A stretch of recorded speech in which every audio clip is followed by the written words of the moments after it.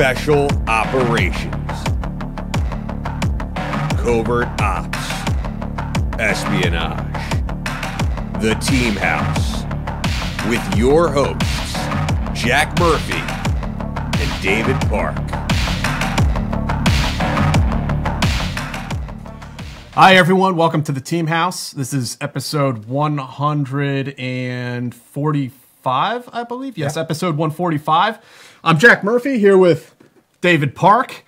I'm back after my little stay in quarantine last week, um, but JC and his boys didn't want me quite yet, so I'm back.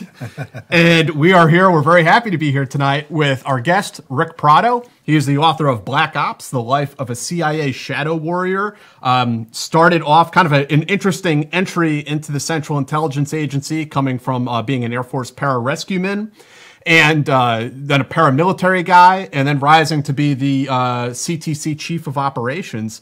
Um, so a very interesting career. I really enjoyed this book. And Ric, thank you so much for joining us tonight. Thank you for having me, guys. Absolutely, man. And I, I was wondering, you know, as we ask all of our guests uh, about their origin story and kind of their upbringing and where they came from, and you, like uh, several of the other guests we've had on this show, are Cuban American and that experience and that immigration experience, I, I, think, had a really profound effect on you as a, as a person, as a man. Uh, could you tell us about that, about your family and how you came to America? Yeah, I'll be uh, honored to. Uh, um, I was about seven or eight years old when the revolution was peaking. Um, I lived in a town near the mountains where Che Guevara supposedly was um, operating in. And so at, at, that at that age, I actually saw firefights right in front of my house. Literally, one guy that was on the other side of the window, and I was looking through the window to see what was going on. So I saw what what war does very early on. Um, but what was really sobering for for us was how quickly once Castro took over, uh, that socialist mask came off, and it was full communism pretty pretty much off the bat uh, confiscation of properties, persecution of the opposition. Uh, I remember being uh, barely nine years old, eight and a half years old, and and uh, being told that I had to go to to the to the uh, to the fields and uh, tutor farmers on how to read and write. And I'm eight years old, but I was in uniform, and and in school we were in uniform, and they inculcated if you hear any if parents say anything bad about the revolution, you got to turn them in. So it was a very toxic environment that even for for you know a nine year old uh, I could understand uh, and and feel that, that this was so different from what I grew up with. Uh, my father, who was uh, always a very decisive man and, and my first hero, um, he made up his mind and says, "We're leaving." Uh, unfortunately, uh, he couldn't get out. My mom couldn't get out. So I was able to get out through a uh, program called Peter Pan program. And the Peter Pan was uh, program was sponsored by the Catholic Church. So, and during the two years that it ran, they took they brought out fourteen thousand plus uh, kids wow. whose parents could not come out. So, in uh, early April of '62, I came to the United States by myself.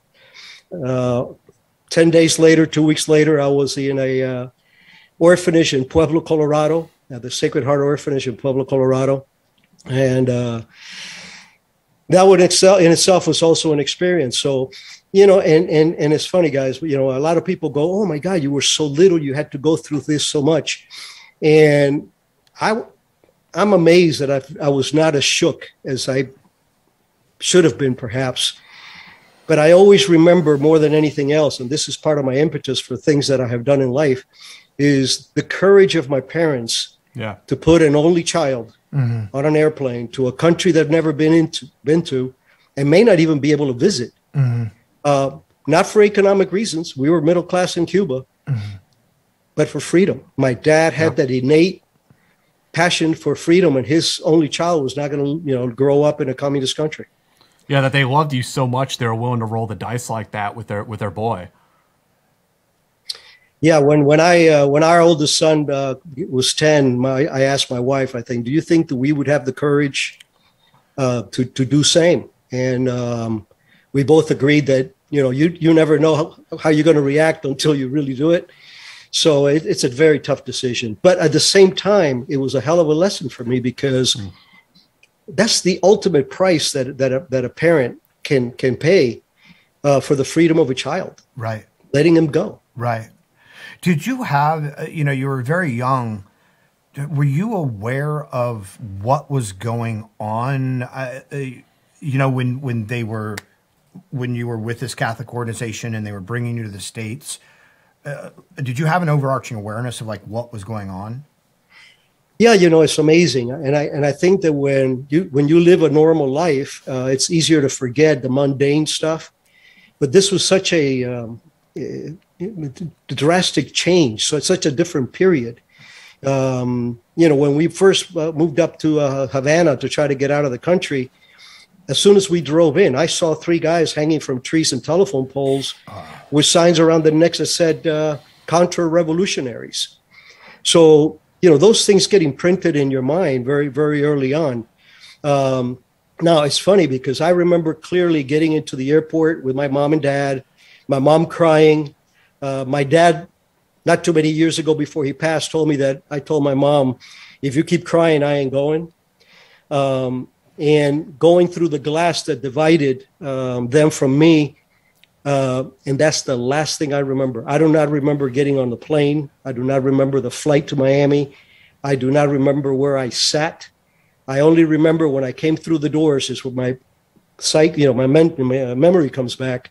And I saw the priest that was there with the sign for the four of us that uh, there was three other kids, two girls and two guys.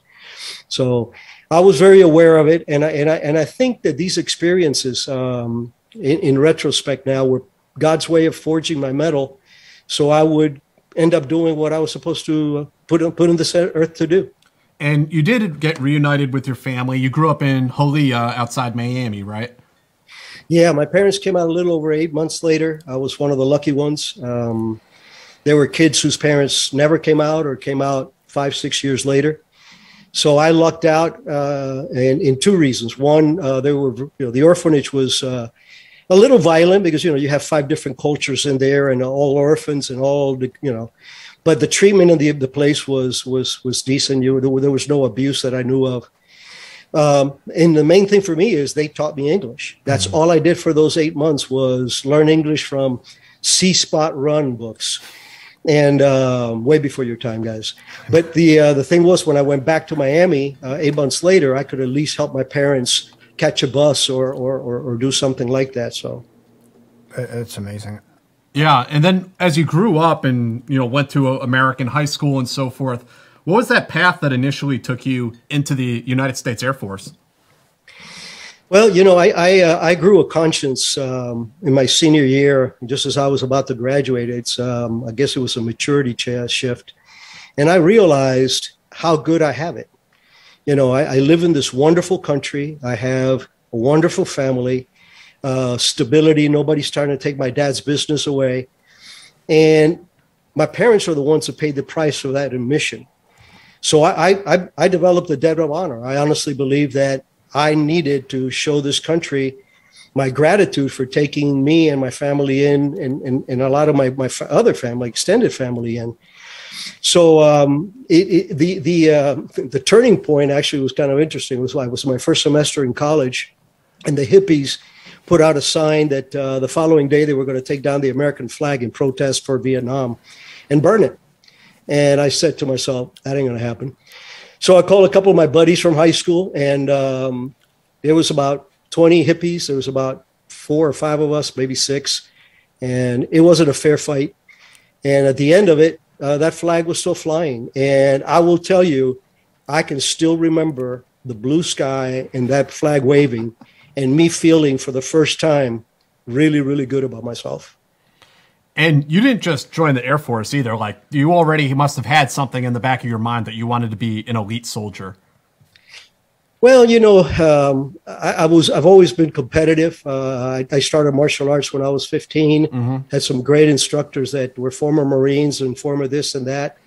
Um, but it, again, I think that God puts puts us where we're supposed to be. Uh, I chose pararescue because I was taking an oceanography class. I was going to be a marine science technician, and one of the guys in the class was a former PJ.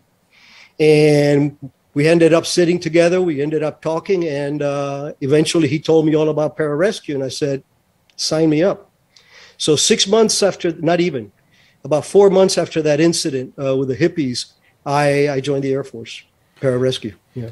And went through that pipeline and got qualified. And in the PJs, you had some sort of uh, formative experiences too. What I remember in your book, you talk about a plane crash that you responded to one time, and for the first time, really seeing kind of death on a large scale.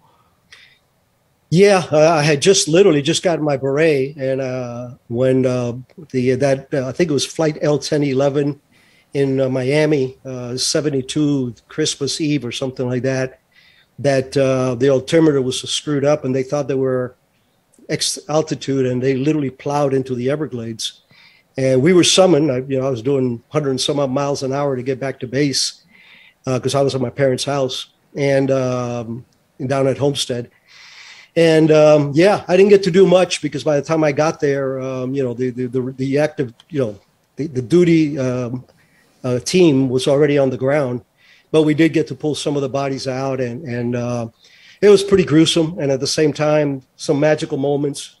You know, ninety some people, I believe it was, that survived. So uh, it, it, was again part of part of that that, that lessons in life that you that you see the fragility and the endurance of the body. You know. And then, what was your uh, your first exposure to the Central Intelligence Agency?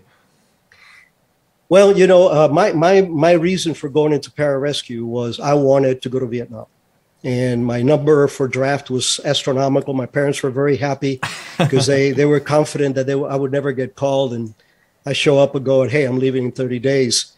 So um, my my goal was to go to Vietnam, and when I got out of you know when I finally got my beret and, and the follow on training, it was already 1973. Um, Vietnam was winding down. Mm. So in '74, I, I, decided to stay in the reserves completely, and uh, I applied to the agency the first time. They were not hiring; those were really bad years for uh, the agency and the military.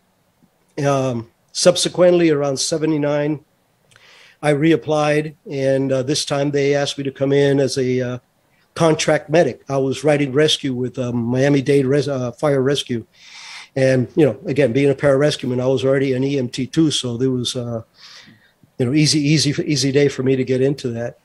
And so they needed uh, a uh, paramilitary medic to help their special activities division ground branch guys, and that was my first exposure to those guys.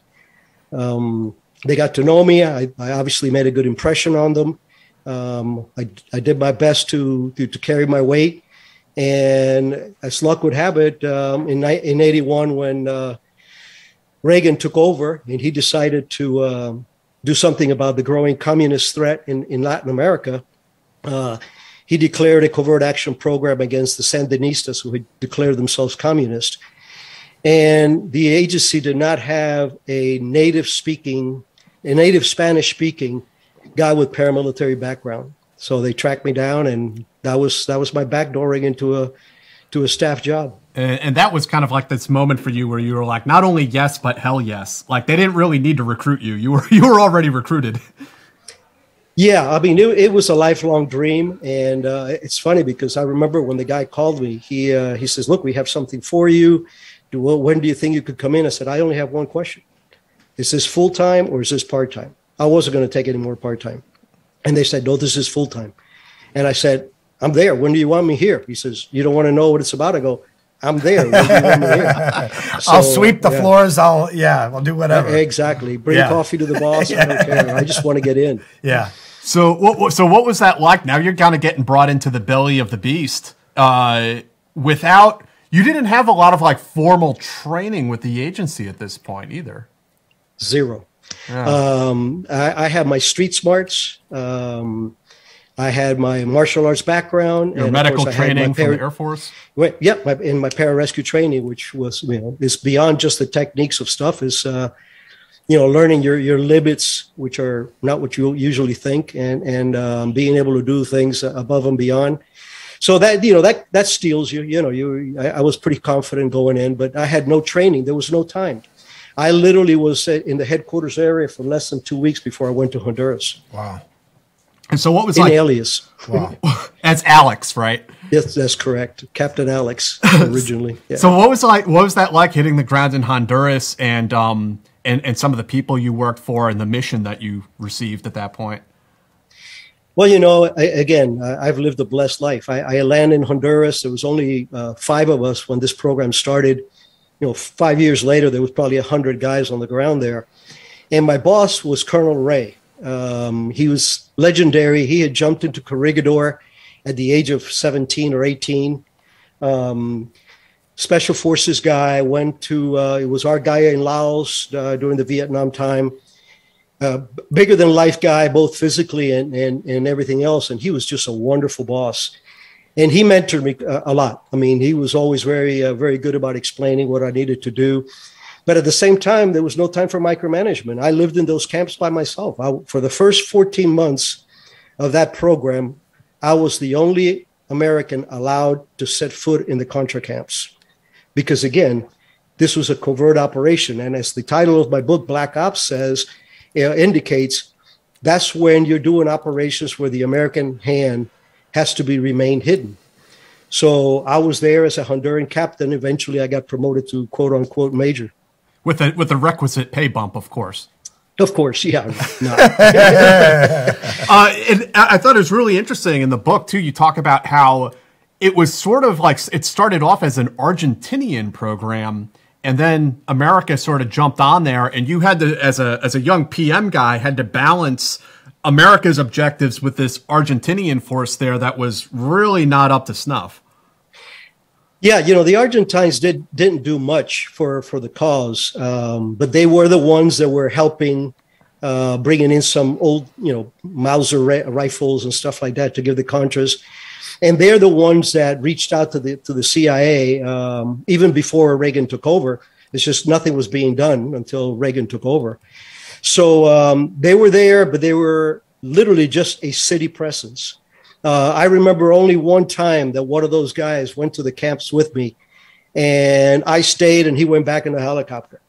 So um, they, they were, and these guys were not paramilitary guys. These guys were primarily a thuggy police force, um, and that that ruled, you know, uh, you know, uh, Argentina at the time, and uh, they they were not contributed. And and yeah, I mean, my boss put me in charge of their finances just to really dig it into them because um, that we knew that they were screwing with us, and eventually they they uh, they got kicked out.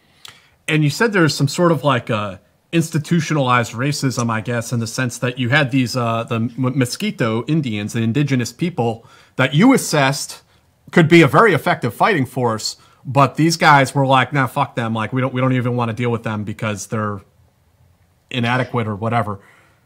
Yeah, it's it's again uh, the the Argentines that were there were very prejudiced. Um, the, Nicar- the Nicaraguans a lot less because again they're they're all Nicaraguans. They just happen to be you know uh, although the Miskitos do not consider themselves Nicaraguans, they they want to be an autonomous nation, but they are natural hunter trackers fighters. Uh, the jungle for them was their terrain, and and it was obvious to me from the be- from the very beginning that they they had the fire in their belly. But for me, my job was to be equitable with all all the camps that I had, and, and I had a real big fight with uh, the one general that was there. And I remember clearly we're see, we're sitting across from each other at the Estado Mayor, and um, he said, "Well, you know, this is going to go here and there." And I go, "I said, sorry, General, that is not. Third of that is going to the Miskitos. And he started to say something. I said, "Sir, I'm. You know who I am speaking for, and that is the decision. That's the logistics. How it's going to be split up." and he literally had a pencil in his hand and he broke it. He was so angry. There wasn't much he could do about it because it was our money and we uh, we weren't going to put up with that crap. It's kind of reminiscent of like when we have the like the former Vietnam guys on and the way like the Vietnamese treated the Montagnards yeah. and right. you know and the you know the other natives you know the indigenous around there. That's correct. Yeah, good analogy. And so in the meantime, you're going around these camps. You're trying to train these guys up, um, potentially prepare them for an offensive against the Sandinistas. Um, doing some limited cross-border raids, setting in some cache site locations to maybe support that offensive. Kind of what was a uh, the, I guess the escalation you could say of kind of like trying to build up this this capability that you've been charged with. Well, you know, when when I, the first time I went to the camps, I, I was slack-jawed. I mean, these these poor guys and gals had nothing. Most of them were barefoot. They had old Mauser bolt-action rifles, a few rusty AKs captured from the Sandinistas. No medical facility. No, you know, food was almost non-existent. So the first thing for us was, you know, logistics, getting the logistics in there to provide them with medicine and food, uh, regular food uh, budgets, uh, money, um, and then subsequently starting the training. And and because I was the only guy allowed in the camps, I did all the training for these guys from patrolling to radio communications to head space and timing on a 50 cal to the RPG 7, which I became pretty darn good with. Uh, after training, it, we had 10 camps and I had to train them all. Uh, so uh, I lived in the camps for the three years that I was there, a little over three years. And Monday wow. through Friday, I slept in a jungle hammock. Wow. And, you know, guys, not once did I wake up in the morning and say, what am I doing here? Right. Or, geez, I wish I wasn't here. Uh, you know, I, I had a wonderful career. I've had a wonderful life, but that period in my life was blessed. And mm-hmm. at first, I didn't really, you know, understand why it felt so good because again, I'm you know I'm 30 years old. I'm I'm still more testosterone than brains, and um, I, I realized that I was now being able to pay back for what they did to my parents, because the same monster that had consumed Nicaragua, um, the Soviet Union using Cubans as proxy, and you know the Nicaragua, uh, Nicaraguan Sandinistas being proxies for the Salvadorian insurgencies you know, I was now there helping these guys and gals uh, cut off some of those tentacles from this monster. So it really felt good. And, you know, every night I would talk to the different guys in, in different campfires. And eventually I would always ask, you know, why are you here? And each one had a very pure reason for being there. You know, they burned down my church, they raped my daughter. Uh, it, it, wasn't geopolitics, it wasn't Marxism versus capitalism. Um, it was the purest. I want my freedom back for me and my family. Right. It was freedom versus tyranny. Indeed. Yeah. And over time, that that they did go on the offense, as I recall reading. Um, but it, it was difficult as a covert program to keep those kind of logistics lines fed and keep these guys supplied, right? Yeah, they uh, we we did. Uh, they started doing some raids and ambushes and patrolling and uh, some sniper work and that kind of stuff that I taught them. Um, but again, the, the, incursions were hit and run and come back, or, or or once they had certain little safe areas, but they were all within 10, 20 miles of the border, uh, and that's pretty pretty thick uh, country out there. Uh, so we needed more logistics, and eventually that started developing. Um, you know, the logistic capability of, of airdrops and helicopters to at least the camps, and then buying them horses and mules and whatever it took to carry some of that stuff inside. Do you want to talk a little bit about? Uh, eventually, you kind of moved over to doing, I guess you could say, strategic level operations with some of these sabotage missions that you kind of coordinated with the uh, Miskitos and some of the other other players, some of the other contras that were in this game. I thought that was a really interesting part of your book. Yeah, the uh, like like I said, I was fascinated with the Miskitos because for one thing, you know, with, with the regular Nicaraguans, there was there was no culture shock. You know, I, I spoke native Spanish. I you know I know the customs. Uh, there's a few words that are different, but th- th- there was no culture shock. But with a Miskito, it was very different. This is a very different society with a different language. Uh, there's probably more Miskitos that speak English than they speak Spanish. Um, it's it's it's really a fascinating fascinating bunch of folks but what happened was the headquarters came in, our headquarters came in and said, hey guys, all these raids and ambushes are really good and, and you guys are doing a great job with the uh, building this force up. But we need to get the Sandinistas' attention. Mm-hmm. We need them to understand that this is not a ragtag uh, bunch of, uh, you know, rebels uh, just trying to overthrow them. We, we need to smack them. So during one of my trips to the uh, to the Mosquitia, um, I, I had my hat with my scuba badge on, and one of the Miskitos comes up to me and he goes, um, Are you a diver? And I go, Yeah, I'm a military diver. And he goes, Well, we, the six of us are, are uh, lobster divers. And these guys were hard as woodpecker lips. I mean, you know, I, I kept that in mind. So that's when I came up with the idea of creating a, a team of, we call them the Barracudas, uh, of Miskito divers that could infiltrate Nicaragua and, and do damage. And the first place that uh, that we chose uh, on, on, you know on, after talking to them about you know realities uh, was Puerto Cabezas. Puerto Cabezas is the northernmost northeast uh, most uh, port for Nicaragua, and that was the belly button where Cuba, or I should say the Soviet Union via Cuba, was bringing in all the the the paramilitary, uh, you know, ammo and equipment and fuel and everything that they needed.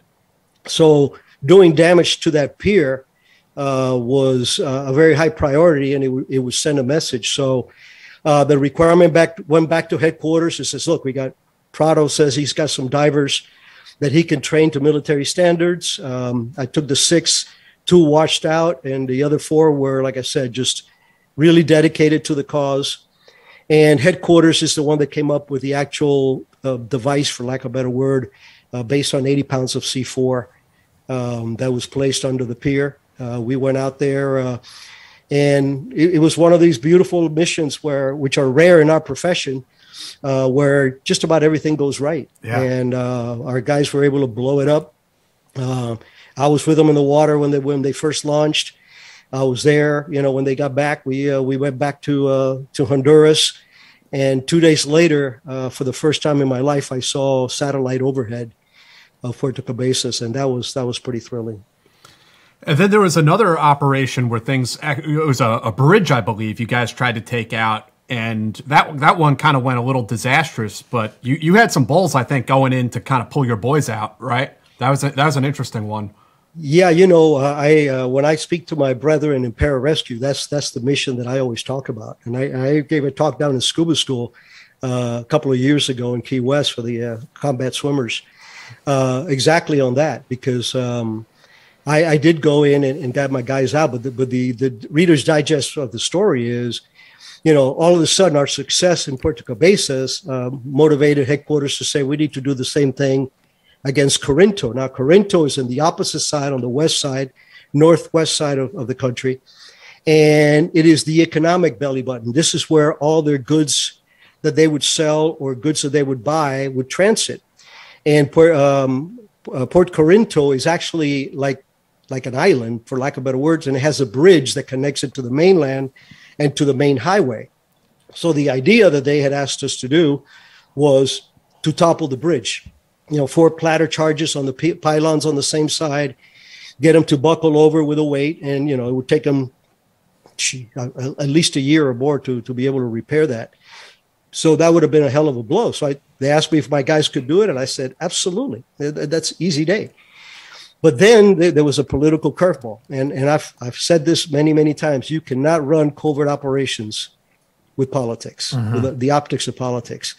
And this was they well, you know, the Miskitos did it in, in on the East Coast.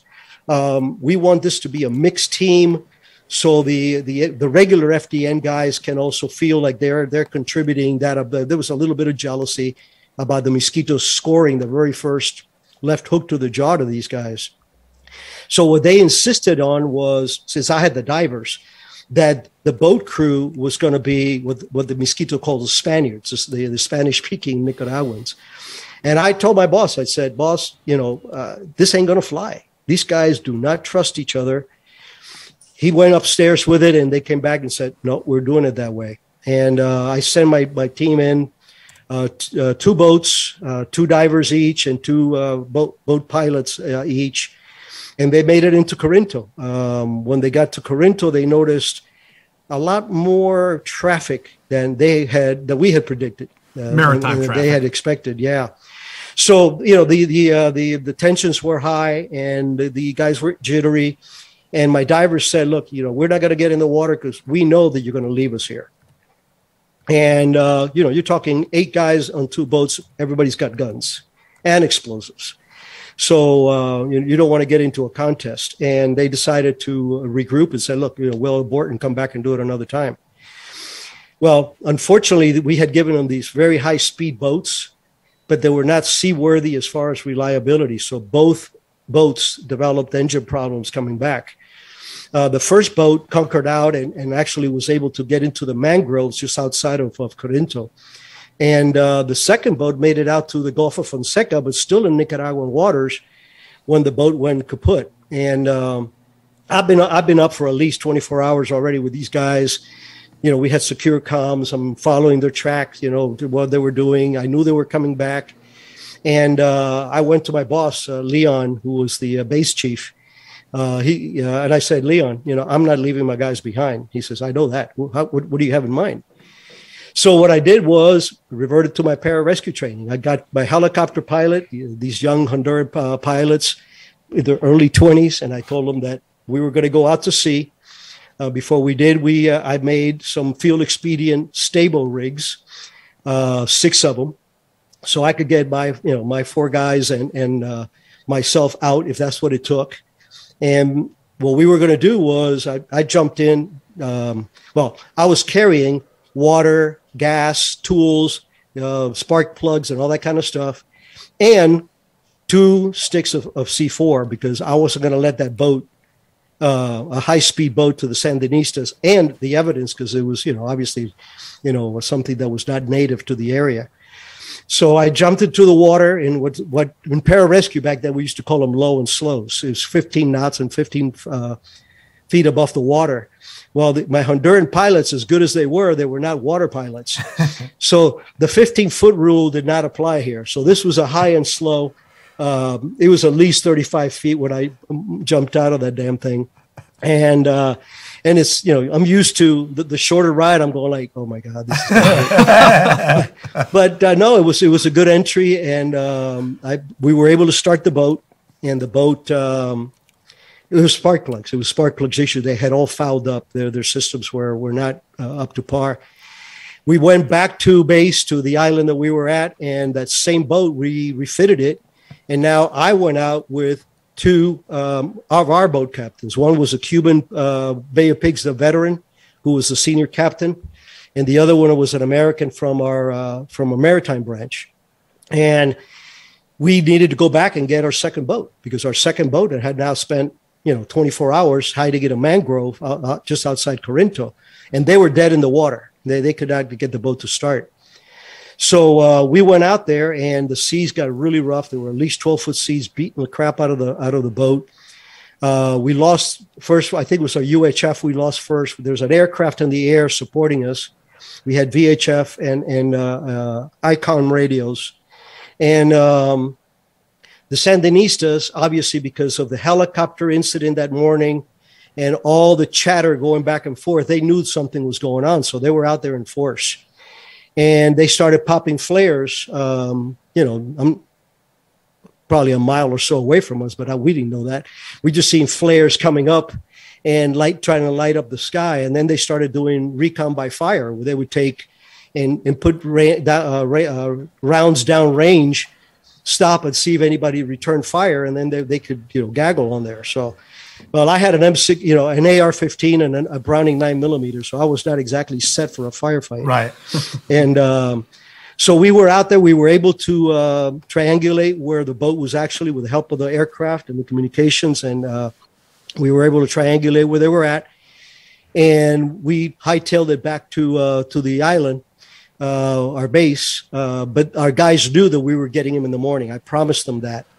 And I mean, I was beat to hell. Um, the wow. once the adrenaline wore off, right? Um, you know, I've, I've, been up for probably close to 48 hours by then. Uh, two adrenaline dumps, one with the with a jump uh, into the water, and now I've spending hours out there bouncing around, getting chased by Sandinistas. So, um, I was smoked. Yeah. Uh, when, when I got back from that, but the next morning we went out in six piranha boats that went out there and got the guys back out. So um, the the mission was was an abortion, uh, but the rescue uh, was what we're supposed to do for our folks. And I'm very proud to say, it got me my first medal in the agency. That, that's amazing. And so you were down there for quite a while doing ops. Um, I guess did this whole thing come to the co- the covert program down there come to its conclusion with uh, Eugene Hasenfus uh, parachuting out of an airplane into the jungle? You want to talk about that a little bit? Yeah, uh, you know the, the American hand uh, became obvious after after the first year and a half or so. That's when they you know after that uh, I was uh, able to have some help at the camps. They brought in some um, um, former SF Spanish speaking guys, and uh, so we had three of them, very good guys, uh, and they were at different camps. But I would still go to the camps because I was the equities. I was the guy that they knew in the camps so I still did my my regular you know visit two camps a week kind of stuff. Uh, so the American hand was starting to show, and uh, but the Hasenfus incident was much later. I mean, I, I was already gone. I left in '84. Uh, I went through spy school, and then lo and behold, I got sent to Costa Rica. Uh, at the last minute, I was supposed to go to Salvador. My household goods were actually in Salvador already, and we were supposed to. I was just recently married. I had a, you know, my son was a couple of months old, my oldest son, and uh, they asked for me by name in Costa Rica because they wanted me to run the Southern Front, uh, which was in stark contrast to the way we ran things in, in uh, Honduras side of the house because the Costa Ricans were actually hostile to the Contras. They were afraid that the, the Sandinistas would retaliate if they supported the, the Contras.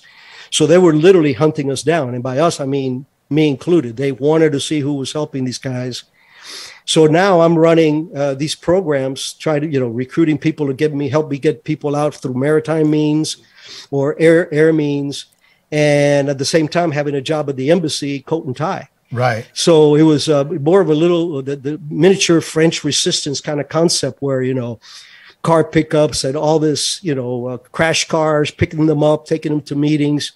You know, exfiltrating them out of the country so they could get training, bring them back in, and all that kind of stuff. So it was a very, very different, uh, uh, you know, mission. And that's when Hasenfus happened. Hasenfus was an airdrop that was not meant for the South. It was actually meant for the North FDN guys who had ventured uh, further south.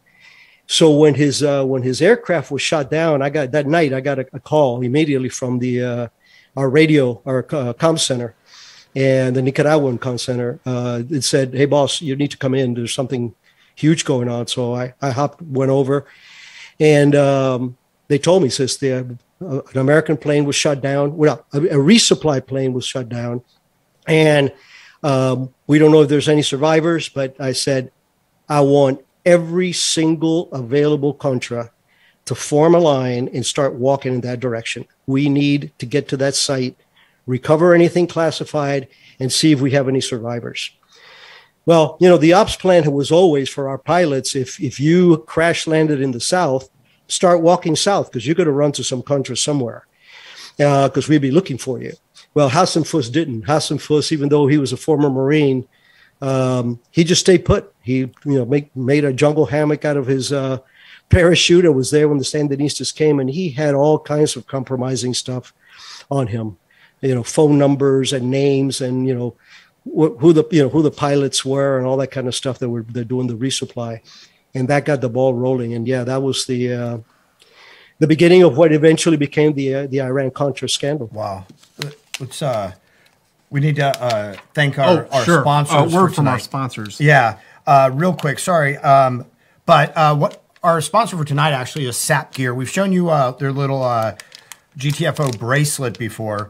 Uh, this is a great little thing. If you ever take a car service, I'm not going to mention any particular car service, but if you ever take a car service, if you're ever in a public place and you want to charge your phone and you're using their stuff, it's likely that your data on your phone is at risk. Like if you're using a public, you know, form of transportation or in a public place and you plug your phone into a thing uh, and that thing has been compromised, the charging hub has been compromised, or it's somebody else's car, uh, your data can be compromised. So um, one of the other great thing, uh, things that SAP puts out um, is this little. It's a it's a uh, data blocker. So you would plug this in, uh, and then you're charging people in here. And what it'll do is it'll allow the power to go through, but it will stop all data from going through. So it protects your data when you're charging your phone in public places. It's a great little piece. It's very inexpensive. It's under ten bucks. Um, and with identity theft, with information, you know, uh, theft, with all this stuff the way it is, it, you know, to take these types of things um, and just keep them in your pocket or your purse or whatever, it, it's a great thing. And they have all kinds of great stuff at sapgear.com. Uh, They have Faraday bags to keep people from reading your RF uh, tags on your credit cards and everything else. And use the promo code TEAM for 15% off your first order. And I also want to take two seconds to tell you guys about our Patreon. link is down in the description if you want to support the show, get access to bonus segments, bonus episodes we do, and also ad-free episodes are on there for those of you who want the ad-free experience. So please go check it out. Yeah. So sapgear.com team uh, for 15% off and check out our Patreon. Uh, oh, Ric, I, I, do want to point out you you, you mentioned briefly um, your time down in, in Honduras, I mean, you were a CIA contractor, a, a, paramilitary contractor.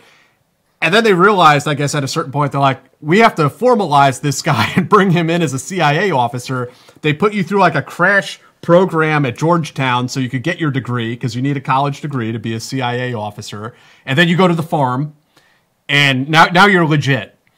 Um, and then and then we kind of swing back to Costa Rica, which you had mentioned, and then you get sent down to I'm guessing a South American country, targeting another Marxist group. Um, you want to tell us a little bit about that experience? Yeah, I, and again, I it wasn't a planned thing. The same way that Costa Rica materialized, this uh, South American country that had two major communist insurgencies uh, there, one Soviet backed, Cuban backed, and the other one is more of a uh, um, Chinese uh, mentality. You know, they're they're uh, and very both were very uh, in close affiliation with the narco traffickers, and that's how they got their money and guns.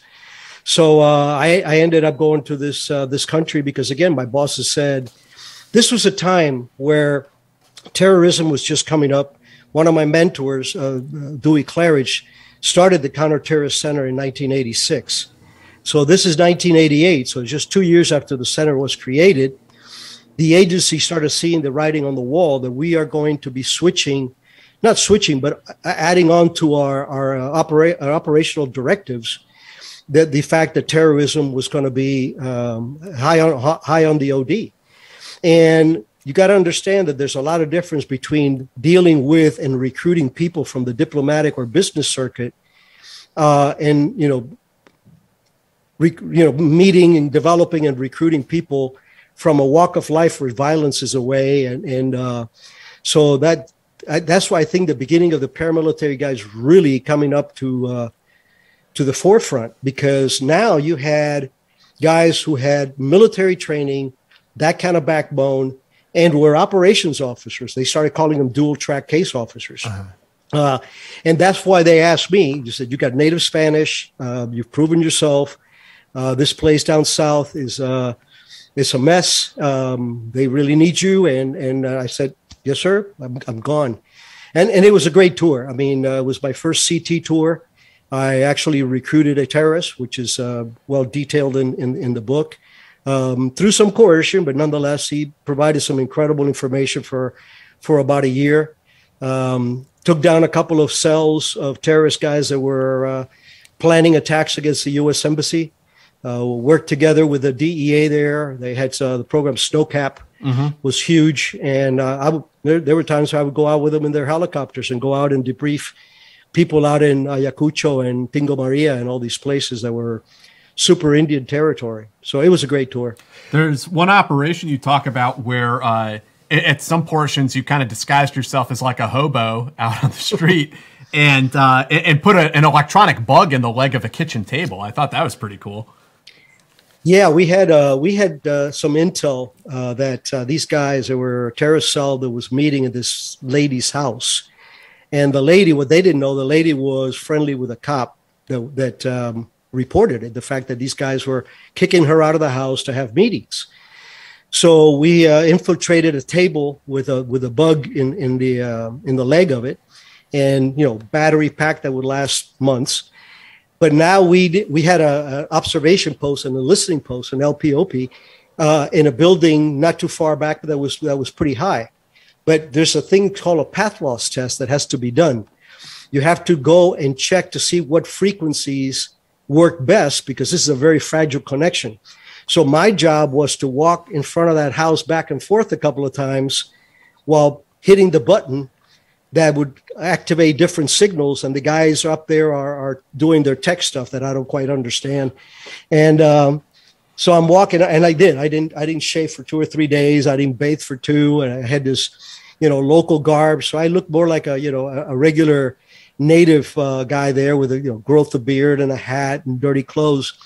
And I'm walking by, by the house, and as soon as I'm literally in front of the house, the door opens and five of these guys come out and literally bumped into me the five guys and being the kind of people that were they started chewing me out. And you know i had a browning 9 millimeter carries 15 rounds and i'm going like i could ruin your day. Right right. You know but at the same time i already knew from from you know my experiences before that in our in our in our business mm-hmm. if you draw your weapon your mission's compromised. Right so I, I had to really swallow my pride and say, "Perdone," you know. I, and they just walk off like a like a little cholo that was hurt, and they were laughing, and you know they were they had a soccer ball in their hand, and um, but we got the path loss test, and we got them. Eventually, we broke up that cell. Yeah, you that talk, was a lot of fun. You, you talk about in your book about that that very notion, that subject that a lot of people see the CIA, especially guys like you, as like assassins, like you're these cold, cold, stone cold killers but the reality of being a CIA officer is like if you have to draw your gun, if you have to get into a high speed pursuit with a car chase, your mission has failed. Like you, you blew right. it. You blew it. Yeah, absolutely. And your mission not only failed, it could most likely be compromised, which then becomes a political embarrassment to to us because we are Americans, no matter how much we try to hide it. And you know, you, you guys hit on something that's very important to me, and, and that's the reason why I wrote the book was because, as you know, most people learn from Hollywood. And the perception that my agency, um, the, the perception that people have of my agency is a maligned organization full of backstabbing, treacherous, you know, uh, maniacal killers that uh, break the law, you know, overthrow governments without uh, congressional uh, approvals and and uh, you know, womanize and drink and everything. And nothing could be further from the truth. And that was the main impetus for me to write the book because look, guys, we we we're a small agency. We you know we're we're smaller than the FBI. We're definitely not major services like Army, Navy, or Air Force. Uh, and we have 137 stars on our wall of honor. And those are 137 souls, a lot of them anonymous, mm-hmm. uh, who gave up their lives for this country. Mm-hmm. And to be portrayed in, in the way that Hollywood portrays the agency is something that I cannot watch those movies. I can watch a fantasy movie. I can watch a James Bond movie and, and, and enjoy it because it's fantasy. Right. It's not real. I'm still right. waiting for my Aston Martin. Right. Right. Um, but you know, seeing these guys, um, it, it's just it's it's a completely different way of life. Uh, yes, you have to have some skills. Yes, you have to know how to shoot because you have to survive. You have to be able to crash and bang and pit and do all these things. But if you are doing that um, that mission is compromised, and and that where that's where awareness uh, really kicks in um, over you know, and the, the story is in the Philippines where awareness uh, saved our saved our lives. You know, so do you want to talk to us about that? About actually, if you don't there? mind, because Ric, uh, like you bring up a really interesting point, and the fact that you were involved in you know the the Contra and Sandinista thing, like that was kind of that's probably your first exposure to how you would get represented in the media back here because a lot of the media at the time was like the CIA is building these death, death squads, squads yeah. right? The yep. School of Americas yep. and, and all this stuff. But that wasn't what was going on. You weren't building these teams to go in and savage villages. No, on the contrary. I mean, that was something that they were prohibited from doing. You know, they, they, we always told them if you have collateral damage, you're doing more harm than good to the cause. And we, we you know, we, I'm not saying that didn't happen because war is war, right? But um, it was it was pretty pretty uh, pretty much over with oversight. Um, yeah, I mean, you know, the it's the uh, Chuck Norris good guys wear black kind of mentality. That people think that we have all these teams that are going to go out there and shoot things up. Now, as you know, from our Special Activities Division, Special Activities Center now, a ground branch, the, um, all those guys, we all come from the, the, the soft side of, of our military. So that's what makes us dual track case officers. We are regular case officers that happen to have these paramilitary skills that we can go to crappier places. And, and one of them was the Philippines. That's why that why I was sent there. So, so there you're saying that you were never on a hit team that was stationed France, ready to get called up at any moment to eliminate a, a, a target that inside of Paris. No, uh, he, we did put. To, I did put together and propose a, a program at the end uh, of my career, and that's later in the book. Uh, that that did establish a team that was supposed to be multi-purpose. But the, you know, the reality is the the greater majority of CIA officers never shoot in anger. Um, because that is, you know, we're we're a trade craft base. We need to do Whereas bugging a safe house or or or recruiting somebody or doing a B and E into an embassy, whatever it is, um, we have to be able to not be noticed. Right. We need to fly under the radar. So uh, there's places where you can't even carry a weapon. Right. So um, yeah, the the hit team concept. I mean, you know, there's a difference between uh, stuff that goes on in Afghanistan and Iraq, for example, and Yemen, you know, Yemen and a couple of other places. Um, the, the, the, rest of our work is is on the streets, especially we're back to that now. Uh, after 21 years of war, the military and the U.S. government had realized that, uh, and this started, started about four, four, uh, four years ago, I guess. Um, to hey, we got to do less war fighting and more war prevention. So that's why some of the restructuring that's going back on to, you know, train the trainers in different countries, buttress places like Ukraine, and and get that going. So, but no, no, no hit teams. I, my my tour in in in uh, the Philippines was my first liaison tour, um, and I worked with the with the uh, police constabulary, the Navy, and the uh, the Army there to fight the uh, New People's Army, who were brutal. They they were in the streets. Uh, as a matter of fact, uh, six or eight months before I got there, they had killed the legendary Nick Rowe yeah. in an assassination in, in Manila and literally a month or so before I got there, they they shot two Air Force guys up at Clark Air Force Base, and the the teams that did this were called Sparrows. Yeah. Uh, the NPA uh, Sparrows, and they were they were lethal. I mean, these guys knew what they were doing. They were stone cold killers. And then the other group that was down there that we were also working against was the Abu Sayyaf down in the Mindanao, mm-hmm. and those are the radical Muslim um, guerrillas down there. Did did uh, you ever get to meet uh, Teddy Medina? After he was captured? No, sir. No. Nope. was the Sparrow hitman. I think yep. you reference him in your book. Uh, yeah, he he's the one that makes the video. Uh, that's in YouTube that you could actually see how these guys operate. And uh, I saw it firsthand. I mean, you know, the, these guys are pretty pretty cold. Uh, I, I, have a question for you about that, but I, I wanted to bring up first. There's a there's a a, a bit in in Ric's book where you talk about as a, a, young paramilitary guy, you'd always heard these rumors in the agency that there's this secret elite team behind the scenes, even more secret than we are, that goes out and does these like hits and super secret stuff. And then you you went up to be like SIS three or four. I mean, you were a pretty senior guy, and you came to realize it's actually none of that exists. Those teams don't exist.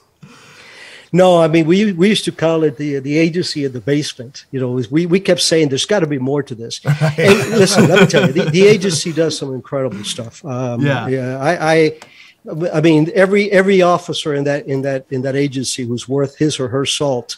Uh, and you know from reading the book that I have a lot of good stories about the dedication of some of our female officers. Mm-hmm. Uh, I'm a big fan of using females in, in, in in the ways that we do for tradecraft and stuff.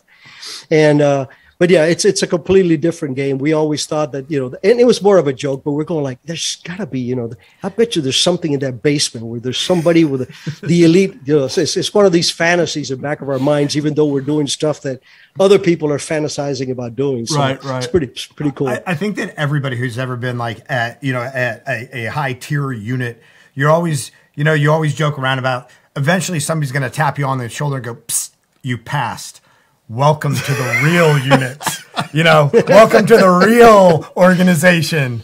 Uh, yep. Yeah, everybody jokes about that in their units. Yeah. In uh, in the Philippines, when you're uh, dealing with the sparrows, could you tell us the story about that time where you guys were coming out of a restaurant and like you almost got smoked? Like if you weren't paying attention to what was going on around you, you probably would have been in a pretty bad situation.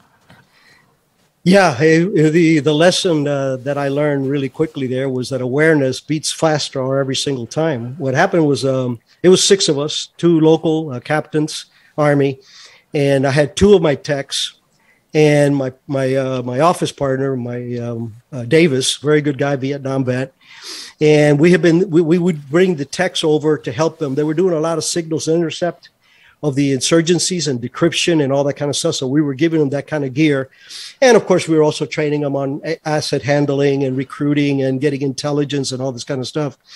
So we had spent a long day and we went and had dinner. We came out of this restaurant and the we were me and Davis were the last two guys. I was the last guy. Davis was second to last. I walked out, and we moved to the right. And as soon as, as I broke through the door, I looked to my left, and I see three guys. Now the, the mo for the Sparrows is that they carry a forty-five, cocked, no safety, in their crotch, round in like the chamber. What we call what we call appendix now, but no hold, no holster. What they do is they have their left hand in their pocket, and that's what holds the gun, and they push it up bring it out, shoot you twice, reholster and walk off. And before anybody even looks, you're gone.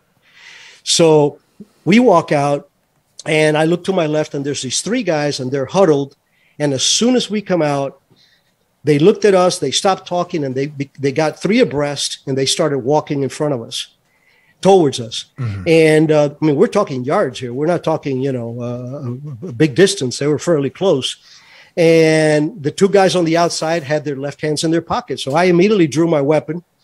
And I tell you, when I took the safety off, that, that was the, the loudest click I've ever heard in my life. and, uh, you know, unbeknownst to me, my, my, my buddy Davis was doing exactly the same thing.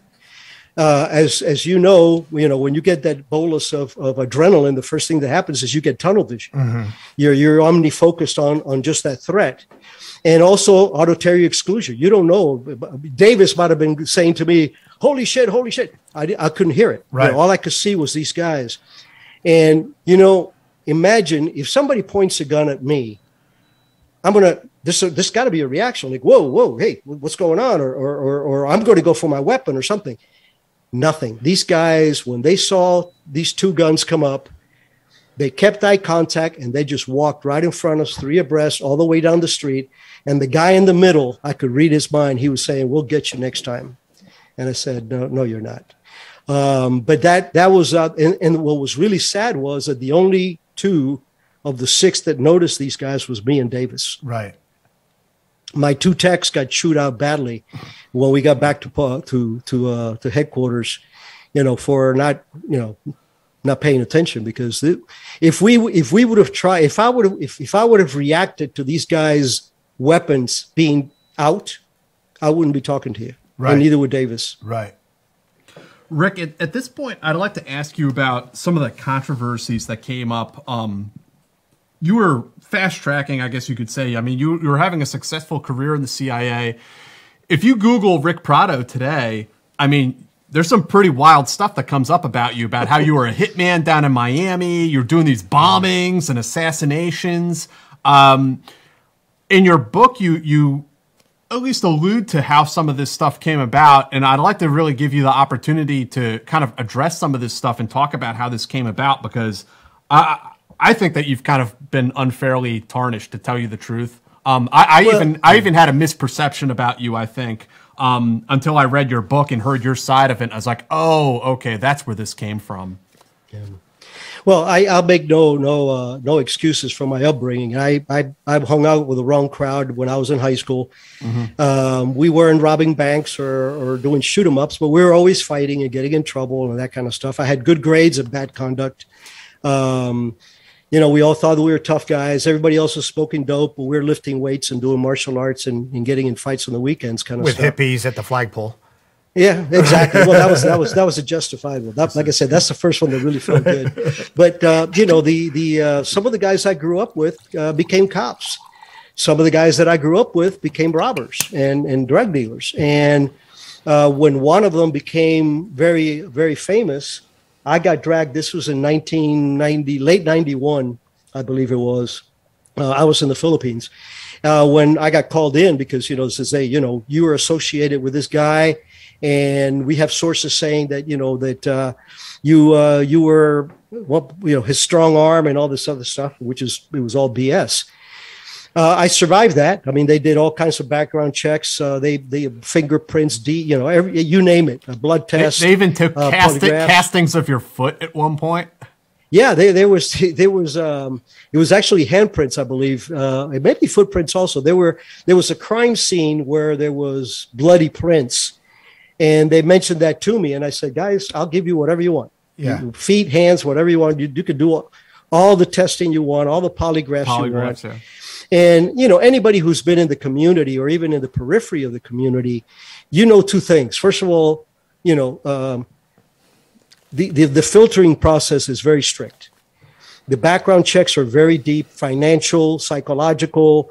Neighbors are asked, school teachers are asked. Um, you know, and you, you do go through several polygraph tests where all these questions get addressed. They're lifestyle polygraphs. It's not just, uh, you know, have you ever stolen something? I'm talking about, you know, major stuff that, that will be addressed. So that's the first thing that is, a, you know, points to the fallacy. The second part is if I indeed had been involved with any of that, that they could even justify, much less prove, there's no way I would have continued in my Right. career and, and rise to the ranks that I did. The sad thing is, is that what you're reading, that what you got to read was much later. Uh, in 2009 is when my name was first ousted.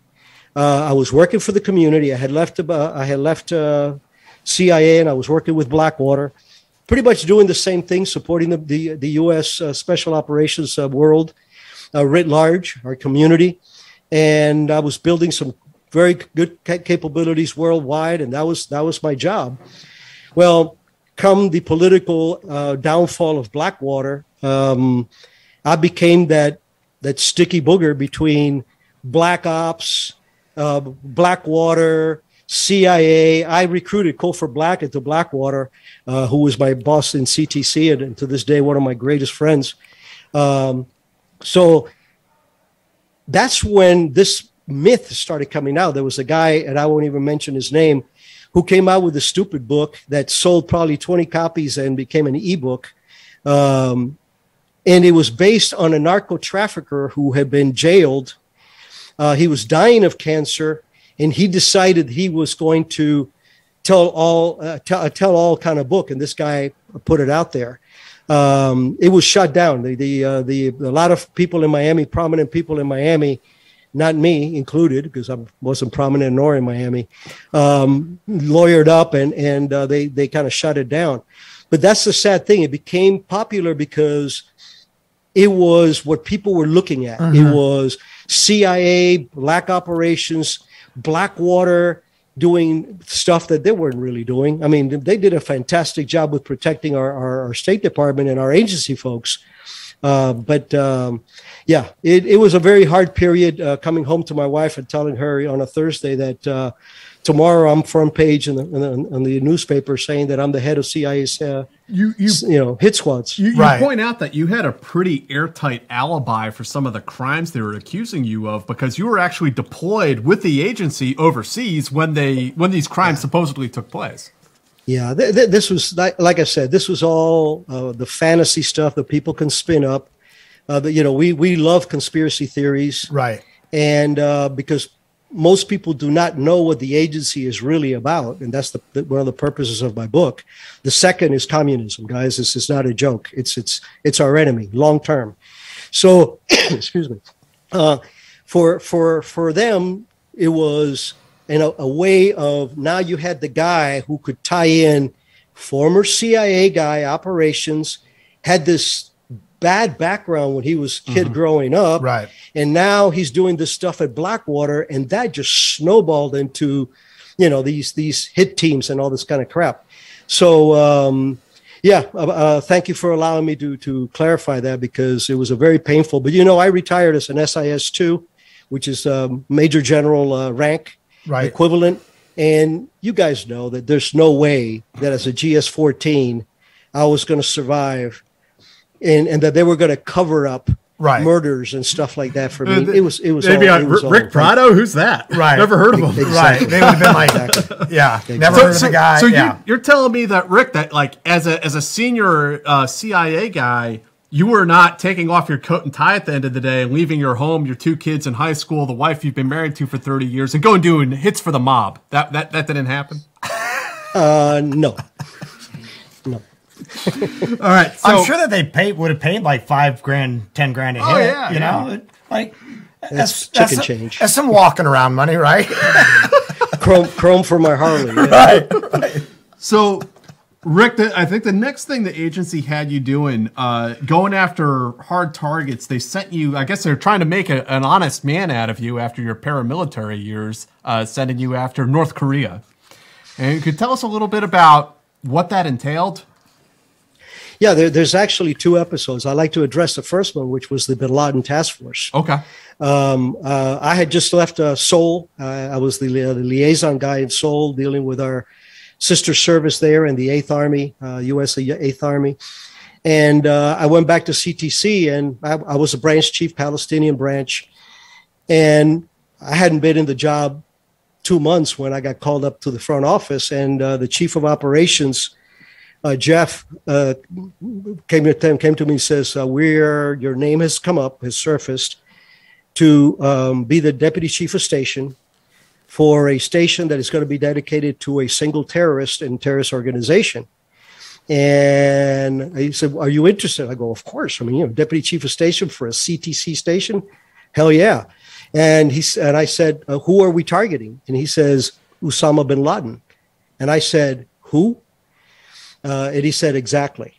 So I'm a plank owner of the original um, task force station. I was the deputy chief of station and senior ops guy.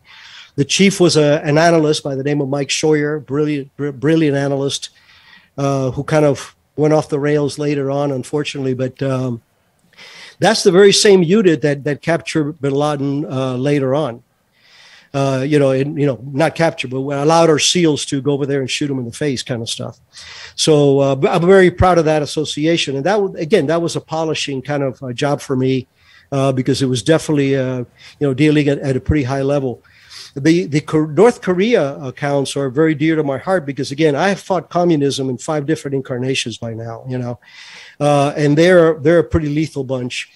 So uh, that's how I made senior grade. I was uh, I was awarded the uh, the Korea program, which was the deputy chief, uh, deputy division chief position, and um, I, I for two years I had several very successful operations against the North Koreans where we took some of them down. They allowed me to talk about one of those in the book to some pretty good detail. Uh, because the, the main thing was, you know, the the the uh, the ethos was that if you pitched a North Korean, they would spit in your face, taekwondo taekwondo you to death, and and walk out. And I said, well, that's not going to happen to other guys. So we made sure that when we pitched, when we started doing these pitches, we were already had them compromised. We Right. had them uh, false flagged uh, into activities that uh, we could then go to our liaison counterparts and show and get them kicked out of the country. And of course, that's a huge black eye. Uh, you know, the, the biggest thing with North Korea that a lot of people do not understand, and, uh, and I've briefed pretty high up in the military about it, is that everybody's omni-focused on the peninsula. Everything North Korea is in the peninsula as far as people are concerned. And that's that's not true. They have over 50 missions worldwide that are primarily intel collection and procurement Money. of embargoed book, uh, goods. Uh-huh. That's what they do. And at the same time, they're also making book and targeting Americans because if we ever go to war with North Korea, guess what those people are going to be doing to our missions? They're going Right. to try to attack it. Right. Um, I don't know, like uh, how expansive your your general knowledge is, but given given your like relationships in in the agency and stuff, would you say that the North Koreans are as sophisticated or more sophisticated or less sophisticated, whatever, as like the Russians, the Chinese, the Iranians, in in uh, how they conduct their operations? No, they're they're they're they're a lot rougher. Um, the Cubans are better than they are also because the Cubans got a lot of training from from the Soviets. Um, yeah, the the the North Koreans are ruthless. Um, they control their their country. It's it's the most hermetically sealed country Right. in the world, and it has been for decades. Um, their operation overseas are not sophisticated because let's face it, they only have two enemies: South Koreans and Americans. They don't have any other enemies. They, they're not going to attack Germans or British or anything. They don't care about them. It's Americans and the South Koreans because that's what they want is, is to take over South Korea. And So for, for them, their their their operations are mostly illegal operations to get funding uh, in order to buy the computers and the materials or whatever it is that they cannot get because of the embargo. That's how you make it up the, the ranks in the, their intel service. So they're they're more of a, a criminal organization um, with two enemies, you know, us and the, and the South Koreans, and they they they they'll deal in drugs. They uh, smuggle people into the United States. That's the one they allowed me to talk about in the book. Um, and they're they're really dirty players. You know, super- they're, they're super violent folks, and, and yeah. The counterfeiting. Oh, the Supernote, yeah, Oh, I mean, yeah. that, that's that's a world class operation, and their hacking capabilities. Yeah. uh, you know, for for for a country as, uh, but again, it's closed, it's controlled, uh, and is sanctioned by the government to to a degree that is fine. That I mean, that's how they get their goods How, and their how, money. how does North Korea though? Because I would think that when these people get out to another country, to another station or location, and they see how life is outside of North Korea, like they have to be Yeah, a yeah. true blue believer. They're here in New York. they have to be a true blue believer to not go s walk straight into an agency, you know, an embassy or whatever, and go, "Hey, I have information on North Korea," right? Like, how do they keep them under thumb? It's actually uh, a very, very brutally. Um, first of all, you got to understand these people are heavily brainwashed.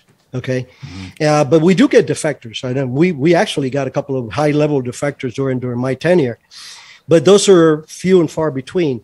What they do is they do not send anybody overseas that doesn't leave at least one of their children behind.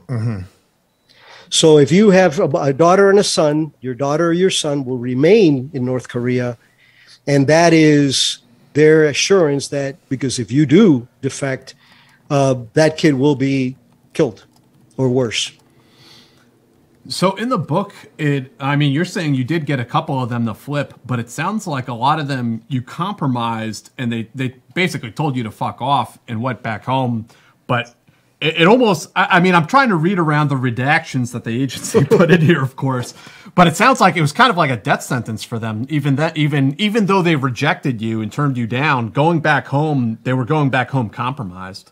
Yeah, they were they were going back home compromise, and and they were um, uh, you know they had embarrassed the North Korean government, uh, and we had helped them. That was the bottom line. Yeah, yeah. Uh, their their careers were finished, and their operations were shut down. Uh, because the one that I talk about was a guy that was actually, you know, doing some pretty pretty nasty stuff, targeting the United States, and um, you know all that all that blew up, and uh, that was a pretty big embarrassment for them. And, and in that country, they were P and G'd, Yeah. persona non It grata. was, an, it was another way to take them off the chessboard. How do you? F- That's right. I, I I don't want to like throw salt or whatever, but like, how do you feel when you see Americans like professional basketball players or celebrities or whomever who think that they're who might think that they're doing good by going over there to be an ambassador, um, but uh, how does that make you feel? Well, it, it, it, it irks me because you got to understand that, that the same thing happens to Cuba. You know, you have these movie stars uh, primarily that go to Cuba and they, you know, they worship the revolution and they come back with Che Guevara T-shirts without ever really knowing what Che Guevara really did. He was Right. you know, he was he was an assassin. I mean, he killed people tied to telephone poles, kind of stuff, for interrogation. Um, so we there, there's this, you know, we have politicians that go to Cuba. We have uh, you know uh, uh, movie stars that go to Cuba and go to North Korea, and what they don't understand that this is you know Hanoi Jane kind of stuff. Uh, you're undermining your country and legitimizing a, a ruthless regime. I mean, Castro has been in power. Well, the Castro regime has been in power for over 60 years, Right. and so has North Korea. Right. And those people have been, you know, annihilated. The opposition killed, people enslaved. You know, uh, and how do you forgive that? And when when I see people being that naive, and what scares me even more, guys, is this socialist utopia idea that is circulating in our youth uh, where you know hey everything is free and everybody's equal and let's go far left um, you know people got to understand that that socialism is just a mask that communism wears Well, you and in. you know what they say about that? That Marxism just hasn't been done right. That they have the answer, right? That these other Oh, countries of haven't course, but right. that's that's the joke for for for the for the since 1917, because name me one single country that has been under communist rule that has prospered. right. Poland, Czechoslovakia, Cuba, Venezuela. Come on, I mean Nicaragua. Uh, all those countries become worse, no matter what their problems are, once communist takes over, Yeah. and it's long term. Well, as you said, when when the mask drops, you often end up with Bolsheviks and Gaddafis and Castros, and it's not a pretty situation. Uh, Absolutely, and, and guys, I mean, you know, one of the things that that was amazing to me is that we were surprised that Putin did what he did with the with the Ukraine. Right. If you look at the history of the of the Soviet Union, from Stalin to Khrushchev to Putin, that kind of individual is the rule, not the exception. Second, he even said it when he took over power. Was the first thing he said, "I will reconstitute the Soviet Union to its old glory." That's a clue. right, right, right, right. So, so you know, because we have heard like modern politicians praise the Cuban literacy program. Yeah. Oh, and their medical program, you know, it's it's amazing. You know, uh, the Cuba there is free education, and everybody does get to learn to read and write, just like in in a lot of the other countries of the world now. Um, and and that was the the literacy campaigns, and you know, and they they taught the fact that they have more doctors than anybody else, and they do have a lot of doctors. But you know what? Most of those doctors do not work in the island.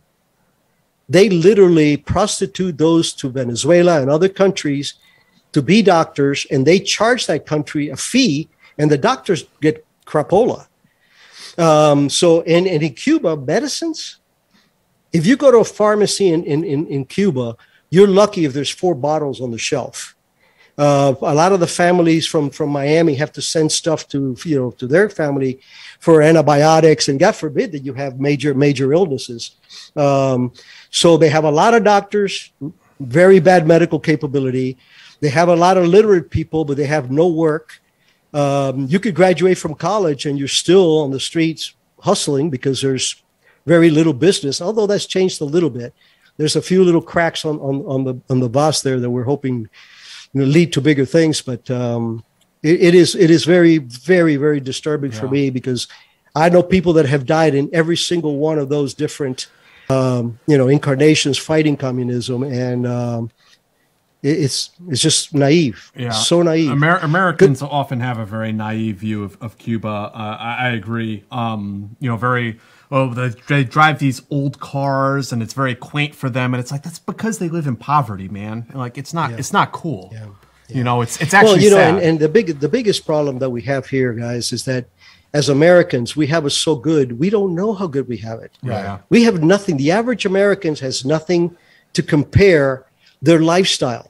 Right. Um, you know, go, Mm-hmm. go to a third world country for 30 days. Right. And no iPad, no iPhone, get Montezuma's revenge as you try to teach kids how to read and write or purify water. And then you come back and say, oh, gee, this place isn't Well, so bad after all. Speaking of which, Ric, can you tell us about Shangri-La, where you're in a uh, East uh, African country, I believe, although it's not named in here, um, and you kind of got sent in to stand up a uh, burgeoning intelligence capability. It, it was felt that our intelligence gathering capability was inadequate in this country, and they sent you in to stand up like a new station, I suppose. Yeah, we were we were there as a team. Uh, all my guys were, you know, former this or former that. They were all case officers, but they were also had strong paramilitary skills. And we were sent there because the, the, the place had been dormant. Uh, we we had not been doing much there, and this place was at the time, and for the, for the longest time, it was a, a radical Muslim country in, in Africa. Um, was a hotel for terrorists. Terrorists of all ilk could go there, and if they paid a fee, they they had protection. So we were there uh, in the country trying to recruit sources that would tell us what was going on. Um, we were also there re, uh, trying to, with the information that was provided from headquarters from other human sources or uh, signals intelligence uh, sources or satellite, trying to geolocate possible safe houses and stuff that the bad guys were operating out of So in case we did have to go in there, at least we would know, okay, so and so lives in that house and drives that red car. So the biggest challenge for us, though, is this is an African country. 99% of the people are black. So most of our snooping and pooping was done with in, in, in disguise, literally wearing masks that resembled black Africans. Um, that you know, if, if, if somebody saw you in the car, would never have a second thought that you were not anything but a but a, a person from that country. And a lot of fun. It sounds like it was it was pretty austere out there too. Yeah. Yeah, it was. Uh, we were top of the food chain. I mean, we uh, we were loaded up. We were always gunned up. We we were body armor and and uh, uh, going to places even at night uh, in, in, in soft skin vehicles because you know we couldn't you know couldn't have diplomatic uh, our right. diplomatic vehicles going on these operations. So we use uh, local vehicles, thin skin, and and body armor and guns and I mean packs of cigarettes in case we came to a a checkpoint to a guard post or something checkpoint that you could give them a box of they would just let you go even with that though like they're you know they're even like with body armor and and loaded for bear like there's still got to be that adrenaline spike because uh, against a couple technicals like what's your thin skinned vehicle gonna oh be? yeah absolutely. Yeah yeah. Well you know and, and that you just touched on something that is very uh, very important. You may have guns on you or not have guns on you but in our like i said earlier in our business you're you're trying to fly under the radar right mm-hmm. um, you're not reacting to you know you you're not you know you're, you're, not targeting somebody for you know you're not taking down a house in afghanistan uh, you know a, an a team outside right squeeze squeeze flashbang go in kind of stuff um, you are doing tradecraft based stuff so when anything that is an anomaly whether you're carrying a pistol or an M4, and whether you have body armor or not, you're reacting to a threat. And, and it's like in the Philippine situation, the adrenaline jolt is substantial. So when you're when you're doing these things at night, um, you're doing it cool, calm, and collected, but you have to be ready for for for a reaction. And we had a couple of episodes. I think they're one of them at least is uh, shown, you know, the, demonstrated in the book where you know they were they were following us, and mm-hmm. we made sure that they understood that that wasn't going to lead to anything good for them. Yeah. So yeah. Wow. So as time goes on, Ric, we're leading up to 2001. I was wondering, you were in CTC. I was wondering if you could tell us about that morning of 9 11 and what it was like in CTC that morning when yeah. the attacks happened. We, we all know where we were that day, and um, we all have the scars from it. Um, I took over as chief of ops at the Counter-Terrorist Center in May of uh, 2001. Had, that's when I came out of that Muslim radical country. And um, I replaced uh, my friend Hank Crumpton. Mm-hmm. And um, come 9 11, you know, we were getting an incredible amount of chatter about something going on with Al Qaeda. We knew that they were planning something major um, because of the, the, the, the the the words that they were using, the the level of, of, of transmissions that were going on, the activities of people that we had under surveillance worldwide, and then the opposite beginning to where all of a sudden the people we were following disappear, uh, and that's that's that's another clue, you know, that, that, they're planning something, but we did not know what it was. So um, yeah, I was standing outside Cofer's office when that first airplane hit uh, hit the, the building, and I saw it on the TV and um, shortly thereafter, we, we you know, CTC was very eclectic in the sense that we had representation from every federal agency there. We've always had Secret Service, DS, you know, military guys, uh, DEA guys, and we had an FAA guy that came to me after the first uh, plane crash, and he said, "Sir, we have a problem." And I said, "What's up?" He goes, "We have four car, four aircraft that have activated their you know emergency signal and they're not responding and right about that time we see the second because at first we thought it was a cessna that had hit a building mm-hmm, in new mm-hmm. york you know that second was uh, was a lot clearer and that it was a very big aircraft. And now we knew this was not a coincidence that this was an attack. And you know obviously um, we we rose to the to the occasion as an agency. You know the uh, the rumors and the thought was that some one of those planes was destined for the agency. One hit the Pentagon, one hit the the Twin Towers, and and that one of them was going to be uh, used against the agency, because you know what a what a great place to take down if uh, you know if uh, if you're you're going to be fighting a long term war, and uh, the the uh, the CIA and most federal buildings were evacuated and the building was evacuated except for a, a, a, great amount of people from CTC stayed. Cofer made it clear, hey, if you got family issues, you got to go get your kid out of school. Go. If you want to come back, come back. But it was an inordinate amount of, of men and women that stay behind, and and people that were not even in the center would come from other divisions and say, we want to help, and they would stay. So. Um, it, it was a very painful moment because we knew that that that that, that something was about to happen. Uh, nothing of this magnitude or, or of this impact, um, but it, it, activated us, uh, and we started we started uh, working on finding out who it was and what we were going to do about it. The the way you write it in the book is like people were tacking up maps of Afghanistan up on the wall like within an hour. Yep. Yeah yeah, the the uh, the the the energy level went through the roof. Um, I I reached out to uh, Hank Crumpton, who had just gone down to Canberra to be the chief. real cushy job, especially for a great outdoor guy like him. He's a big hunter, and I called him up and I say, "Hey, man, you know, um, we, we're talking. We need we need we need a guy like you here to to to lead." Uh, you know, from headquarters, uh, put together the the the stuff against Afghanistan, and God bless him. I mean, you know, his household goods were still unpacked, and he came back. He came back to to to do that. So a lot of people stood up. We had uh, two or three guys. Um, the guy that became uh, Hank Crumpton's deputy in special operations uh, literally walked into my office two days after 9/11 or a day after 9/11 with his orders. Said, "I have my retirement orders in my hand. If you give me any job, including bringing you coffee." I will tear these papers up. I said, I like this guy. Well, I G2'd him, and the guy was a stud, you know, former this, former that. Uh, and so I called Hank and I said, Hey, I think I got your deputy. and um, to this day, we're, we're great friends, and he's a great patriot. But we also had two other paramilitary guys who had actually left the agency and were working for Coca Cola in executive comp- uh, level uh, jobs. And they came back, they same thing. They gave everything up to come back and not miss this fight. So that's very rewarding, and it's very telling of the quality of people that really that are really drawn to the uh, to the agency, not the Jason Bournes or the American made crap that's out there. Could could you tell us about rolling up quote unquote Mustafa that month? In your in your book, fresh. he was on an uh, in air quotes Mustafa. He was on an airliner.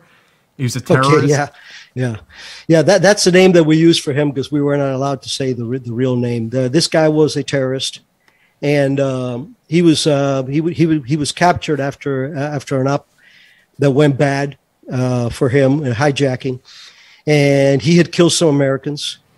So this this analyst um, from from our the center came over and said tells me about this guy that is getting out of jail uh, in this particular third world country, and that uh, and I said so this is right after 9 11. And I said, So? He says, Well, we got paper on him. You know, the, he killed Americans. So, long winded story is that we actually approached the right people in that country and made sure that when he got put on a plane, he would go the route that we wanted him to go through. And um, he got on this airplane. He'd been in that jail in one of these third world countries for 14 years and uh, he gets on the plane. He had seat window seat 17A. B was bought, but nobody showed up. Uh, C was a uh, a Japanese guy with Playboy and, and, Hustler magazines, who was actually a case officer. Um, so, and behind him was one of my Navy SEAL buddies, in case he got any ideas of doing anything awkward. And uh, so the, the idea of the Japanese guy was no threat because he's an Asian. Right. Uh, Playboy magazine and Hustler magazines. This guy hasn't seen a woman in 14 years. And the Japanese guy says, "Yeah, Gozo, uh, look at him. You know, they're used to look." So that distracted him for part of the flight, because the the uh, the, the rules were when we got to a that that stop point in another country, uh, uh, a very very uh, good ally. We had to get him before he set foot on the ground. Mm-hmm. We had to get him off the ladder um, because then you know if he said I want asylum, you're done, right? And things compromised. So this guy was well behaved all through when we landed. Uh, is this one of these aircraft that you either go forward, half the plane goes mm-hmm. to the front, and half the plane goes to the back, and they have these long ladders. He was supposed to go out the back, and when he got up, there was a there was a lady that was part of our surveillance there, and I think she was FBI, and she made like a nanosecond eye contact with this guy. That's all it took. He freaked out and started going to the front of the airplane.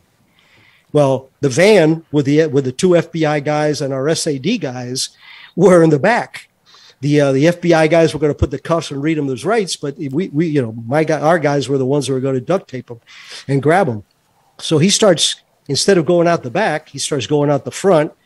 We're trying to get comms to the van that it needs to go to the front, and my SEAL team buddy starts following the guy out to to the front of the airplane and the guy starts running. He doesn't even notice that this guy's behind him. He starts going down the stairs when the van pulls up, and he immediately looks at it, turns around, starts running back up. And my my buddy grabbed him by the neck and said, "Welcome to America, mother." Uh, and threw him in the van. So it's um, he ran right. In, he like ran right into the seal, right? Yep, yeah, he was right there, and they bumped into him. He grabbed him by the throat and told him, "Welcome, welcome to America." that you must have to have a lot of coordination, not only with you guys and the FBI, but you have to know if there's an air marshal on board because if they see something funny, they might yeah. respond in the wrong way. Absolutely, absolutely. Well, this was a foreign. This was foreign aircraft, right? Okay, uh, it wasn't an American aircraft and everything else. But no, that that, that is a reality for us. There could be a regular, you know, a, a security guy from that country, right? Right. It's on that aircraft, but nothing was going to be done in the in the aircraft. It was done at, the debar, you know, where they were deplaning. Right. Yeah. So, Ric, uh, a kind of common theme in your career is that people come to you and ask you to stand up some new capability or some new intelligence station. Can you put together a team, find a guy to run it, and you keep putting your own name in it because you can't you can't step away from it. You can't let it go. You love to be uh, be there on the ground. That's like a theme through your whole book that you love to be that guy that's there. Um, in 2002, they ask, they want to stand up a new capability at CIA. Could you tell us about the team you put together, the training you started to do, what you were trying to accomplish there? Well, actually, it was it was I, I was chief of ops of the center, and, and you got to understand, for a guy like me, chief of ops of, of CTC doesn't get any sexier than that. Right. Um, it's it's a it's a very cool moniker and a great job, and working with some incredible people. Uh, but I told Cofer, I said, you know, we're we're running short here on we're doing great in Afghanistan. We're we're really kicking the bejesus out of them. But these guys are in, in all over the world um, with impunity. And, you know, we need to be able to target these individuals and have the capability to neutralize their activity, disrupt their activity. Um, you know, if if uh, if if we see that there is intelligence indicated that whether it's Hezbollah or Hamas or Al Qaeda uh, or whoever, ISIS didn't exist at the time. So Cofer looked at me, it was a Friday. He says, Well, you're the chief of ops, fix it. So I spent the weekend um, writing up my op order, and, and Monday I briefed him. And I said, This is what I want to do. And I told him, I said, Look, we're not going to be targeting heads of, of organizations. We already got the Bin Laden task force for that. Um, plus, they're hard to, hard to get. You, they're, they're not as easy. Um, we're not after the shooters. This is not a punitive capability. This is a preventive and disruptive capability that I'm proposing. And the, the idea, the concept was target the soft underbelly of any criminal organization, and t- terrorists are criminal just like everybody else. And that's the support mechanisms because the support mechanism has to have an, a public persona. You cannot be a support element if you cannot go to the lawyer or to the bank or to the safe house or get the doctor right. you know you, those are the individuals that really move organizations. And when you eviscerate them there um, that that's that that's major damage. So in a nutshell the concept was give me say 30 guys that we start making book on in different parts of the world. They're all terrorists or narco traffickers of that we know who they are, we know they're bad, but we know that they're crucial elements of their support mechanisms. And we know that. We have Right. the intelligence to support that. So the idea was we our my team would go out and make book on these guys, establish patterns of life, and then come up with, you know, okay, so what car is he driving? Where does he live? What boyfriend he has or girlfriend he has? You know, what mosque he goes or what bar he goes to, whatever it was. We knew what that individual was doing, and then we would come up with three operational scenarios where we could disrupt members of that organization when we had intelligence like we had in 9-11 prior to 9-11 that indicated that something was happening Right. and my argument to Cofer was, and and to the DCI, I said, sir, if we would have had this capability before 9 11, and we would have been able to grab three different Al Qaeda support guys in three different parts of the world, what do you think they would have done? Slammed the brakes. Right. We're penetrated. How did they know? They neutralized three of our major guys. And I'm not talking about just killing them. I mean, I'm not Right. talking. You could duct tape them, rendition. You could, you know, you could put uh, drugs in their car or fake explosives in their car and compromise them to the locals, whatever. Everything was on the table, but it was being able to have that capability uh, on the books. And then Cofer says, "I, I love it. I like it. Um, get ready to brief the uh, the DCI and find me somebody who can lead this team." I "I already got them." He goes, "Who?" I go, "Me." He kicked me out of his office. he says, "You're my chief of ops. You're you're not going back on the street." well, I circled back in the afternoon with his deputy Ben Bonk, who was a very dear friend of mine, and I, we talked to him and said, "Well, look, boss, um, you know that me giving up the the chief ops job is hard, but I know that this is in this is in my wheelhouse, and it's my concept. I believe in it, and I can make it work." So he gave in, and he allowed me to uh, to run the uh, that that that program. Unfortunately, um, by this time we're we're already talking late 2002. By the time we got the group together and, and started doing our snooping, and uh, you know the the calcium from the spine and the testosterone started dropping uh, with time, and politics kicked in. And you know you can't run special operations through the optic of with of politics as an optic. Uh, But you And, you uh, did get the chance to brief Dick Cheney and Condoleezza Rice on the capability. Yeah, and I was very, very, very pleasantly surprised that they allowed me to uh, to talk about that that part of it. Uh, they allowed me to talk about the concept and the briefing. They did not allow me to talk about the cool stuff that we did, and we did cool stuff, but I can't talk about that. Yeah. But I did brief uh, Dick Cheney and Condoleezza Rice uh, on a particular uh, one of these operations and the overall concept. Well, so so it did, it did go operational. There were some things that got greenlit. No, that, that was that was the problem. Uh, the uh, uh, Cheney and Condoleezza said, "We love this. Keep developing it. When you are ready to d- pull one of these, come back and brief us, and we'll brief the right people in Congress, and we will get this done. This is the kind of stuff we we're we're supposed to be doing." And you're right, Ric. Uh, we wish that we would have had this capability before 9/11, um, but nothing was ever. Um, we were not allowed to do what we were supposed to be doing. And not from that level, but from levels No. above you Yeah, inside. it was internal. Yeah. it was more in the agency internal. What yeah. was that like for you from having gone having gone from a PJ to like a paramilitary guy on the ground, you know, in, in the whole Contra To, Sandinista to put thing? several years of work into this, and then be to be told basically Yeah, then- we, we don't need you. And then as you get up into the more SIS, which for people who don't know in the government is like an executive position, and you run into these internal blockades, even when even when the, the higher ups in the government are saying yes, we want this, but people above you in the agency or you know whatever organization are saying it's a political risk for us. Yeah, w- without a doubt. I mean, it was uh, it was a sobering moment because uh, there was a tipping point, and and to clarify, they they would have loved to kept the team on paper training Right. because it briefs really well. Right. You know, when you've already told the, the vice president of the United States you could do this. Um, so their goal was, and, and my deputy, who was always smarter than I ever was, he told me one day, he says, boss, the problem is they didn't expect us to succeed to the level that we have this quickly Right. being able to stand up the team. Uh, so we had one particular target uh, that that was being sponsored by a very senior division chief, who to this day is a very dear friend of mine, and um, we went and we were we we had done incredible sleuth hound work on this guy.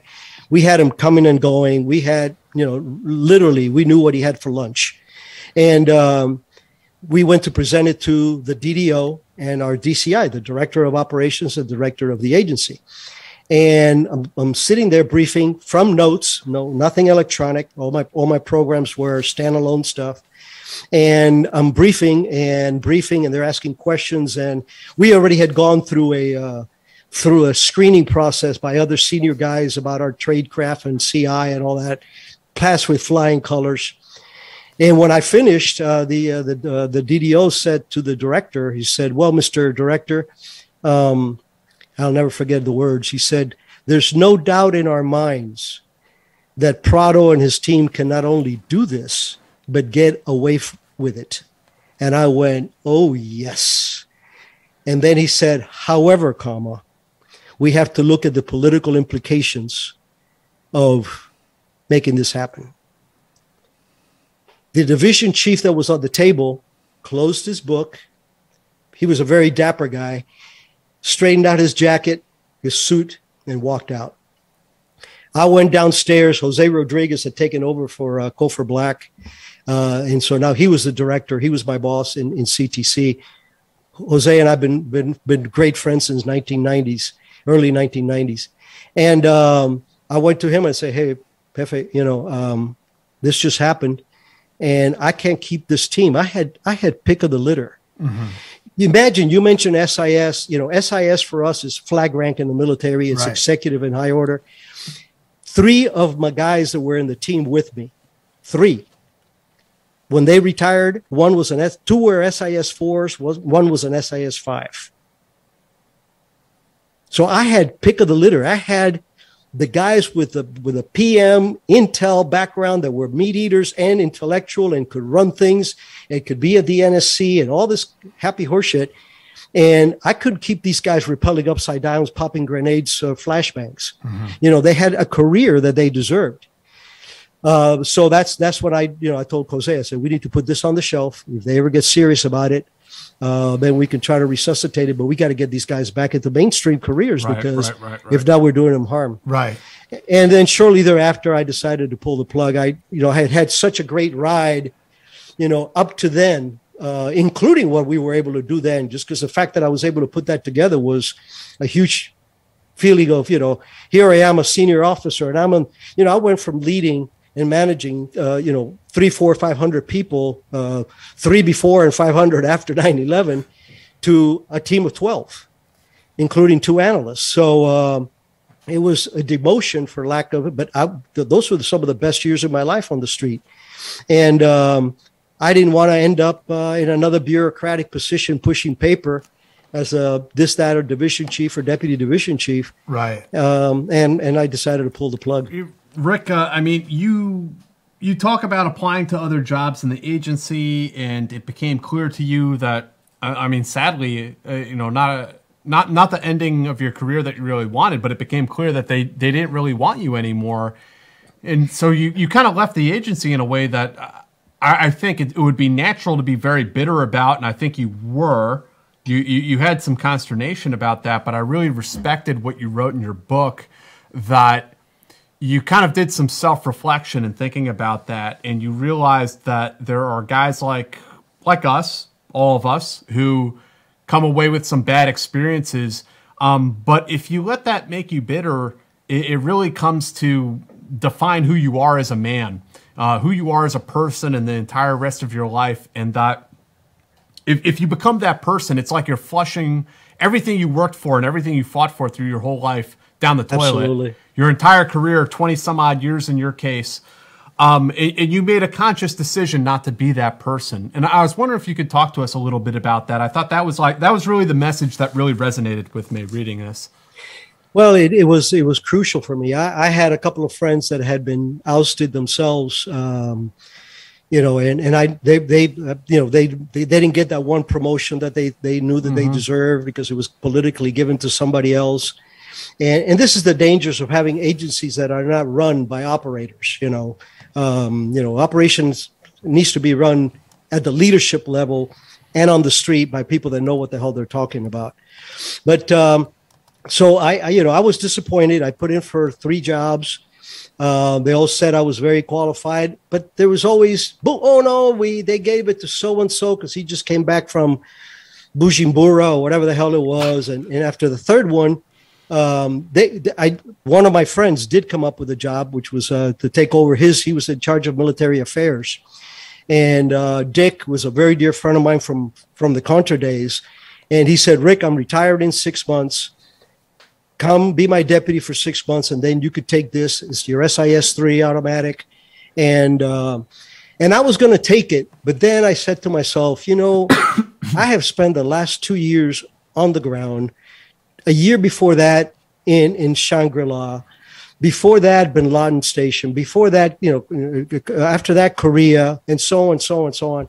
Why do I want to end up my job holding hands of generals that are coming to my building to get briefed on things? You know, and that's you know basically the way I looked at. it. I said, "This, I, I want to go on my high," hmm. and um, so I, I put in my papers to retire. And you know, I again, you heard about my upbringing. I, learned very early on from my father and my grandfather, who's highlighted a lot in the book because he was, again, one of my first heroes, um, that a man has to have a certain calmness when things are bad. Um, and I didn't, you know, I didn't blow a fuse. I didn't start throwing things. I, I, I was feeling it. And I remember when I turned my badge in and I got in that car, I had to lower the window because I, you know, I was choked up. I mean, this was this was uh, it was a very hard decision. I got home. Uh, we had a little gazebo that we had just built in back of our house in in Fairfax, and my wife, you know, we'll, we'll be married 40 years this year, so she knows me fairly well. And uh, she saw me, and she just turned around and started going the other direction.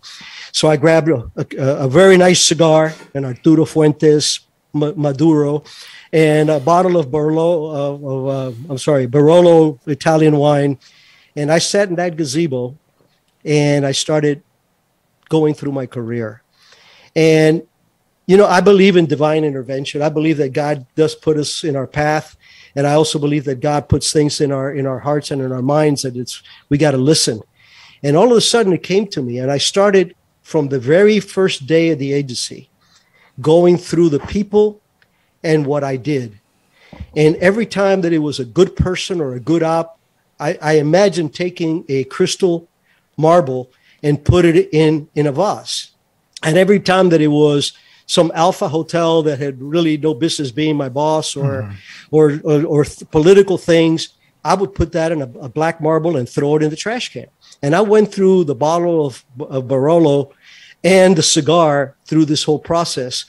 And at the end, I was cleansed because I, I realized I said, You have had such an incredibly charmed life, much less career.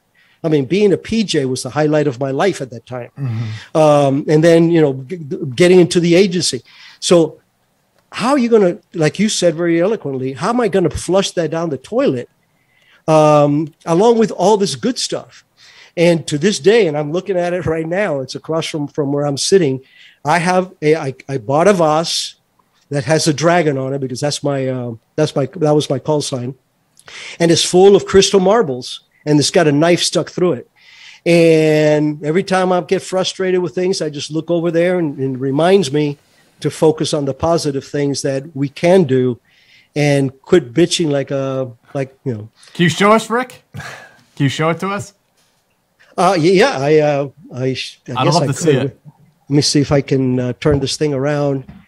You have to guide me here a little bit. Uh, are you seeing that wall? We see the wall. Uh, the back bit. wall. Yep. Uh, we see your monitor right now. Okay. And I'm the trying lamp. to.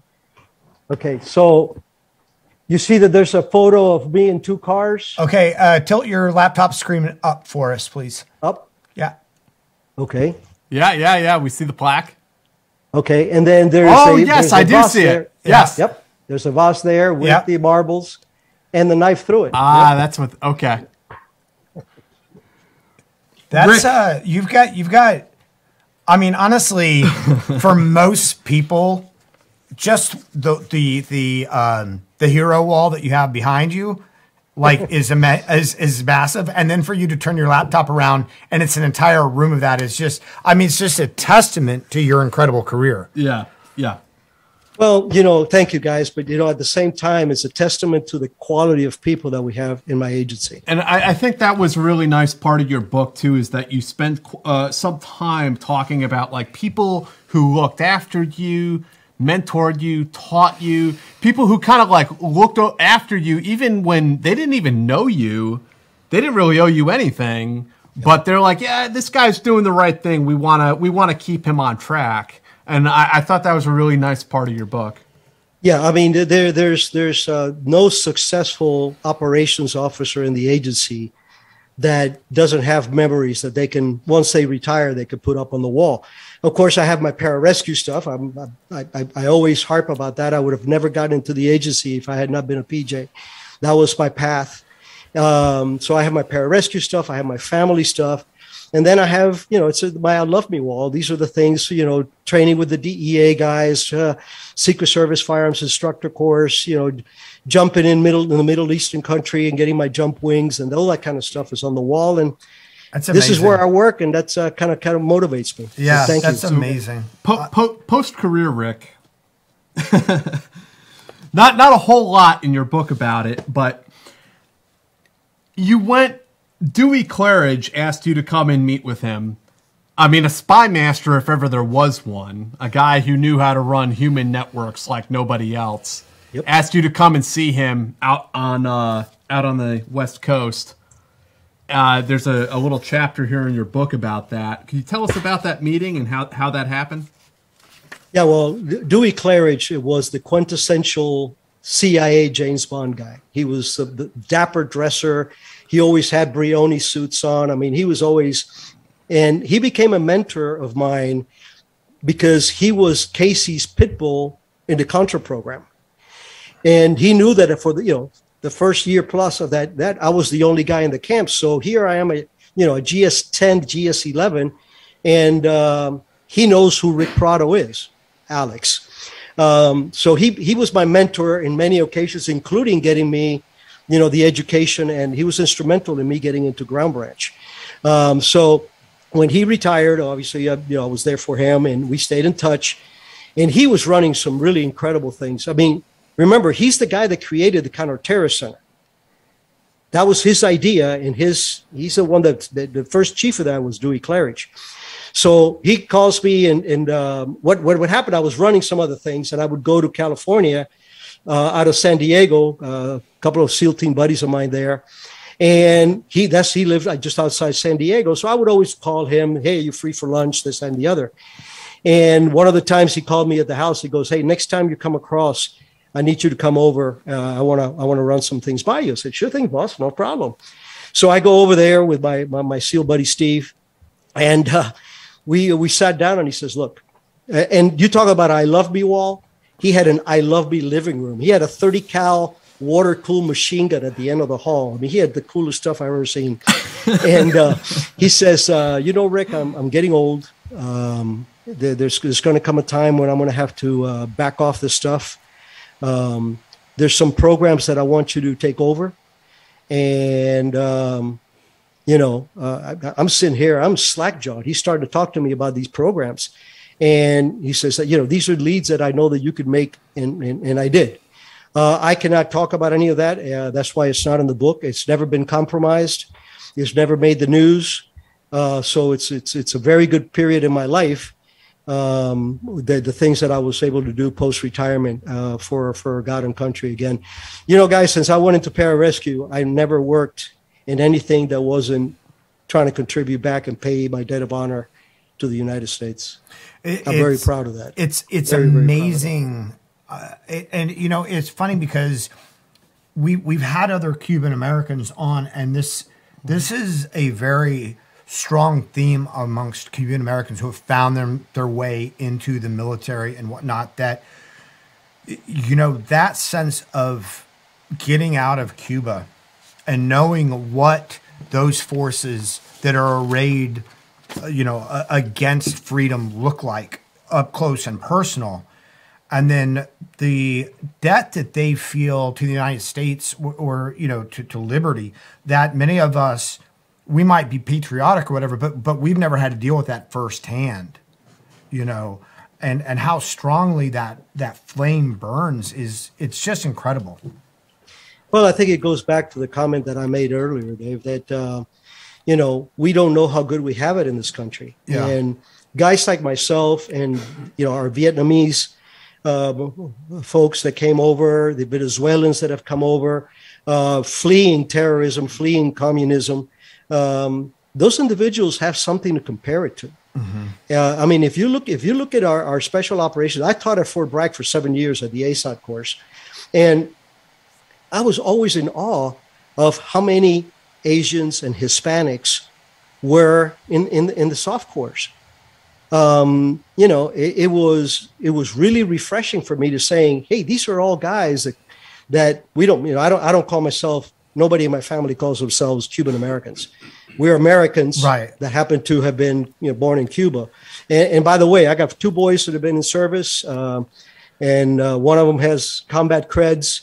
Uh, I won't go any further because that's you know that's his life, and uh, you know We'll, we'll have him on down the line. An- an- there another, you go. Another interview. I'll, I'll hook you guys up in about ten years. With Sounds him. He's, a- he's, perfect. he's just a major right now. Ha ha. uh, two combat tours and a whole bunch of stuff, and the other one's uh, the other one also did six years in the military, and is going back now as an officer when he finishes his schooling. So, um, anyway, the for for for us who have come from a different place, we worship the United States because we see that it is far from perfect. It's made from humans. Let's face Sure. it but it is the best thing that we have out there. And I don't care if you know if you're in Italy or if you're in, in Germany, I wouldn't trade. And I've been to all of them.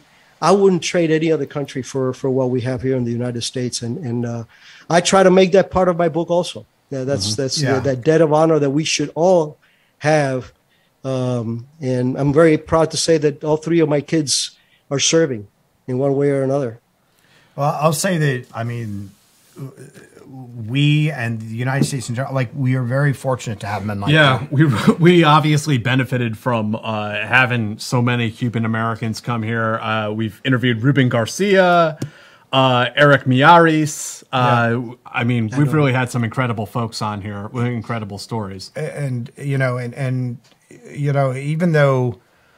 You know, and uh, it feels like our government gets like this. It got like this after Vietnam. You know, it goes through these phases where it ramps up these programs, and then the guys who can do those things, when the government is like done, like oh, like that's all a little like much for us or politically intense for us like uh let, let's you know let's bring in the guys who who haven't you know accomplish these missions for united you know for america to represent us now or to write these policies now where uh, I, I feel as though like our government has a tendency to use people like you not use you because you're there for the purpose but to to use your Actually, abilities that they're not using you. I think the correct terminology would be that they don't use you the way that you're capable of being. right I They- think that that is that they is the use your crux. capabilities but then when it when when they want to distance themselves from it you know you you guys aren't like you're not running the cia now right? you know it's like okay we're good So, Ric, uh, again, at, uh, the last part of this I think that we haven't really covered is you got hired by Erik Prince to go work at Blackwater after your time at the agency. Uh, what was going on there? I was the first CIA officer uh, employed at at, uh, at Blackwater, and what happened was when I was doing the alleged training that I did at the end of my career, I didn't want to do it in any of our black sites because people know me, and if we're doing this kind of stuff, they're going to come to the right conclusion. So uh, I already had met uh, Eric because he was um, providing the security for our guys in Kabul. So I, you know, in, in Blackwater at the time was, you know, a hut with a couple of ranges. It was, you know, it was a pretty modest uh, setup, uh, little clubhouse, and you know, very, very uh, sterile. And I went to him and I said, look, you know, there's certain skills that I need to train on, um, and you know, don't ask any questions, and I'll, I'll I'll tell you what I need for training. And so that's when we got close, and he was watching us, you know, using suppressed weapons and you know j- jump, you know, riding motorcycles and dumping them and shooting over the tanks and all this kind of ninja stuff. And he was just fascinated. And uh, so he said, "Look, you know, um, when I retired, he he called me up and he said, uh, I want you to come and I don't know exactly what you were doing, but I believe that that's the kind of stuff that uh, our country needs to be able to do. And I don't want this to be part of my business. I want to be this my my payback to to to the country. Um, and I'm going like, okay, so you mean I'm going to be doing exactly what I've done all my life, but now you're going to pay me corporate money? He goes, yeah. I said, okay, um, that'll work. And um, the rest is history. Like I said, fortunately, I won't talk about those things because none of those uh, capabilities were ever compromised. Um, we had s- substantial successes, intelligence successes. This wasn't hit teams, guys. We were not, you know, shooting mm-hmm. abu abu out of out of windows and stuff like that. We were we were bringing home some really great intelligence uh, with with the, the, capabilities that worldwide that we developed, and um, you know, there's there's a lot of controversy with Erik Prince um, now.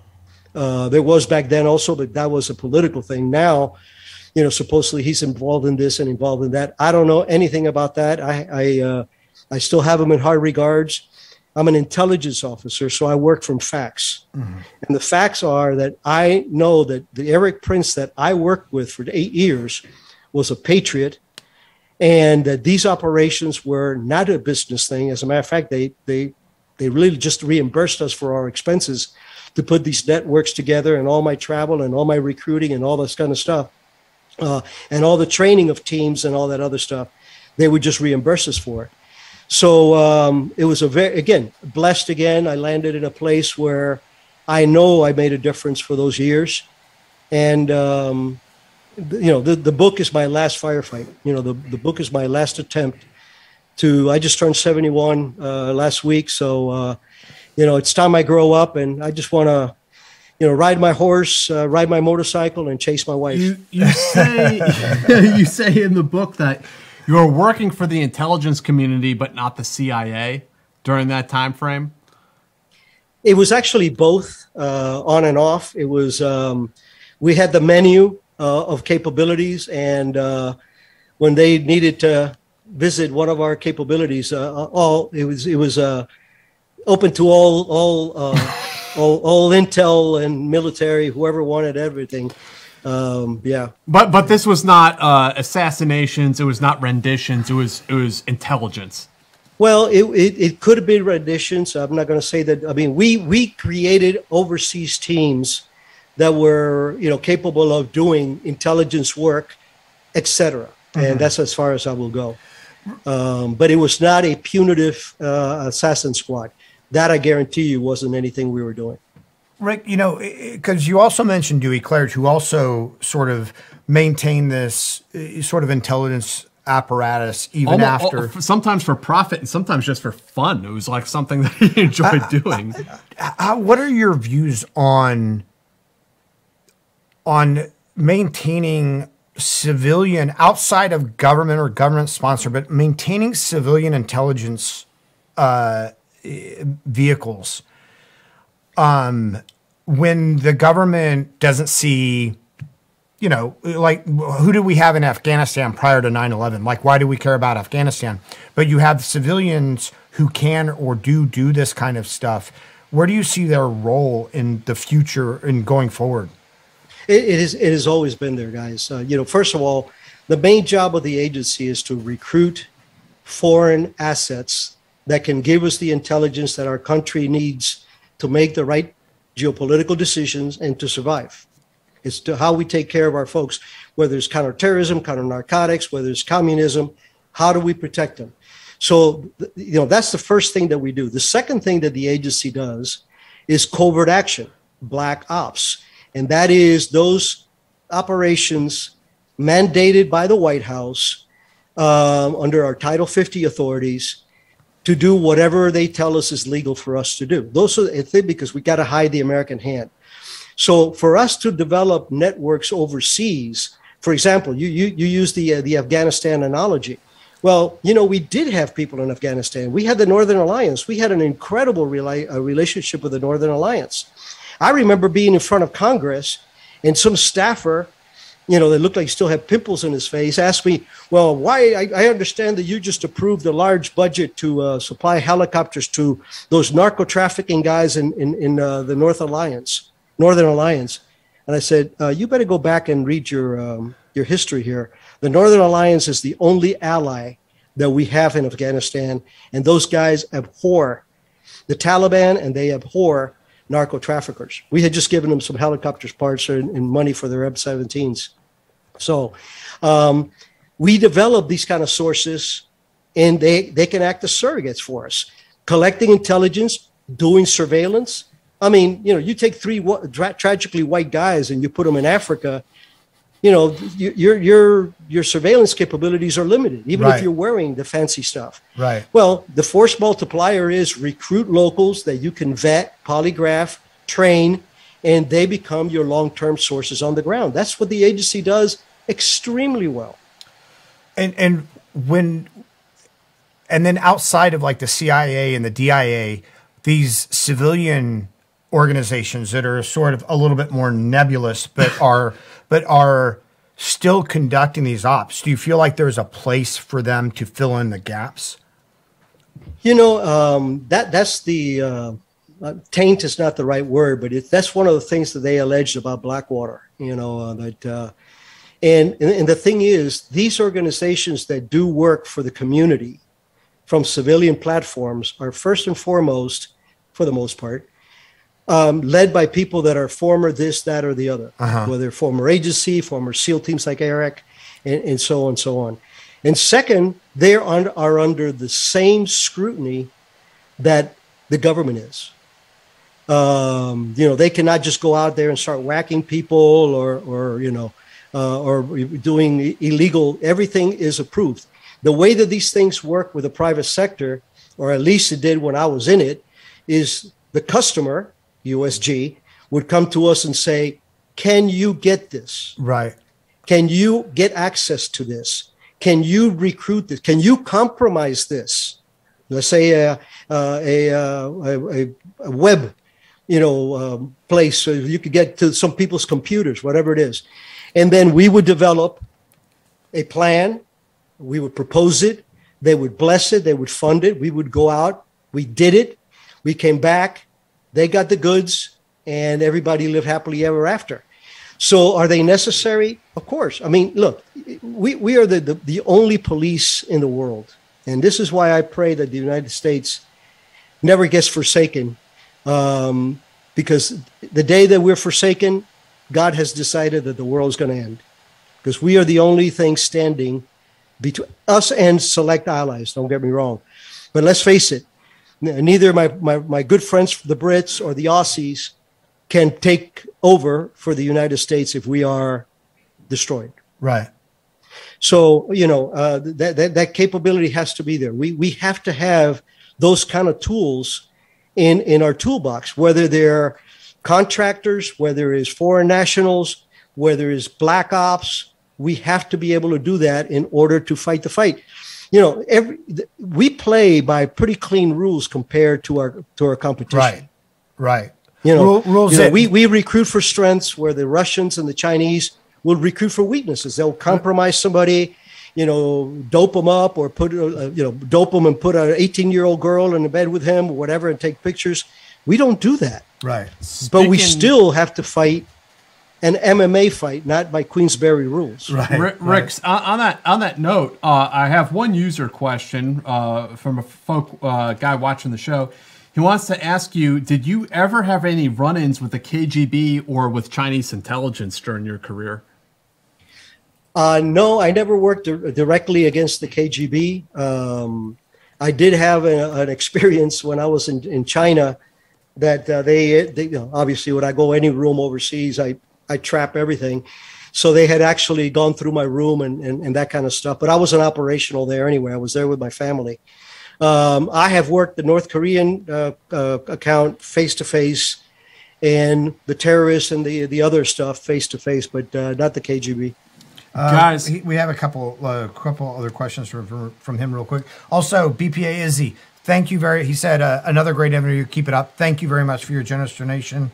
Um, uh, when you were looking into OBL, uh, bin Laden, uh, what were your opinions on Alec Station? Was it like the a Manson family thing in in the or Mason family thing, like in the Looming Towers? Yeah, yeah that, that is again Hollywood. Um, you know, they're dictating what the agency is supposed to be. Right. No, you know the the Bin Laden Task Force. Uh, we started in the late '95, early '96, and like I said, I'm a plank owner of it. I was a senior ops guy.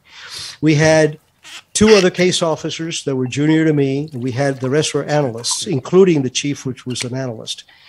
Um, they became the the nucleus that grew and grew and grew into the you know the full Bin Laden Task Force of 9/11 kind of thing. Um, there were some individuals in that task force that had been there for the duration. And that's where the Manson family idea comes from. You know, the Mike Scheuer is the the god, and all these people drink the Kool Aid. Um, and that that that wasn't true. Now, at the late later on in the career, after he was after, after Mike got crushed, because Mike took every, everything very personal. That's what made him good. I Yeah. took everything personal too, um, but he took you know the the when we started seeing. And let me back up. When when we started Bin Laden, eight months afterwards, we knew what Bin Laden was doing every day. We had a guy named Billy Waugh who was in charge of surveillance in Khartoum, a very dear friend of mine, legendary Green Beret from the Vietnam Mac VSOG days, that was photographing, following, you know, evaluating bin Laden on a daily basis. And at that time, he proposed, and we proposed through through through uh, through uh, allocation, a bunch of operations where we could have kidnapped him, brought, brought him to justice. We knew what he was doing.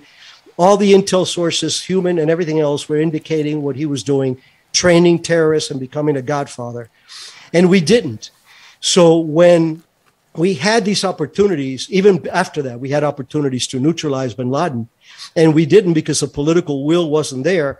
When we got hit with a Cole, Yeah. and then the the the, the two embassies in Africa, uh, there was a lot of people in in in the Bin Laden task force that took it very personal. right. They took it very personal because they knew firsthand that we could have stopped this Right. If we would have interdicted back then. So again, it is a is prostituting the reality of what the agency is. Right. Did we have people that were strong nosed and you know really uh, uh, fanatical about Bin Laden? Absolutely, that's what makes us good. Right. you know, you can't you got to believe in what you're doing if you're working you know 50 hour weeks all your life right. you know um, but obviously what sells in hollywood is the manson family and the uh, the inner scene kind of stuff so the answer is no Yeah. And I mean, that must, I can't imagine how crushing that would be to be like the people on that task force to, to have, I guess, that foresight. right, And then, right. and then, and then it happens. And then, like you said, the Cole, the embassies, and then 9 11. And people are like, how did this happen? And these people who have been working this going, yeah, we know how it happened. We told you it was going to happen. Yeah you know and that that's something that mike um, uh, did uh, that ended his career um, and i can't say i blame him Right. But at the end of the day, we are a military based organization where the chain of command and respect for the chain of command is something that, you know, we're a little better than the military because we could have a, a, a lieutenant talk to a general. Right. Um, but you still have to be respectful and you still have to make your point in a civil way. And my understanding, I was not there when it happened. Uh, Mike and, and a couple of other folks that were with him, um, you know, they they really put the blame on on the leadership and you know the blood. This blood is in your hands, Right. Um, and you you don't do that. Right. That's, you know, yeah, that's- well, it's that's kind not of unfair.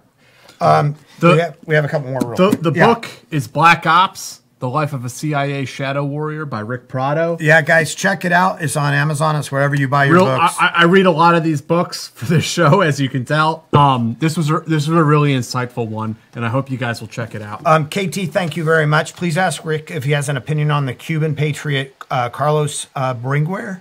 Bringer or Valerie Kost- uh, Kostikov, KGB chief in Mexico City? Uh, no comment of those. Okay. Um, and Brad, thank you very much. Was there any separation focus from DoD intel operations versus uh, CIA SAD in Afghanistan, Iraq? there was collaboration uh, in in force. I mean, you know, like when 9/11 happened, uh, immediately. I mean, days after, we had uh, representatives from Delta Force and representatives from SEAL Team Six there. One of them to this day is a very good friend of mine. He ended up being the chief of ops at Delta.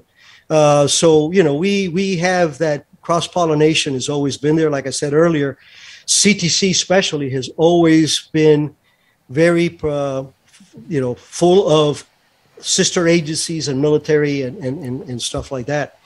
Uh, in Afghanistan and Iraq, we, we worked a lot of things together, um, especially in, in, in Iraq and Afghanistan when it came to exploitation of intelligence and being able to real time bounce it back to the, the action forces.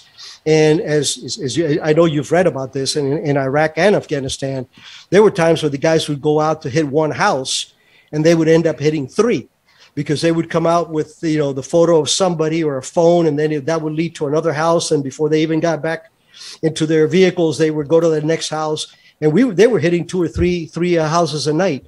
So it was a very robust um, cooperation and um, yeah it, it's it existed and very Yeah. proud of that Yeah. So, la- last question I have: What's next for Ric Prado? Seventy-one years old, wrote your memoir. Here we are. What what what is what's next? What's in your sights?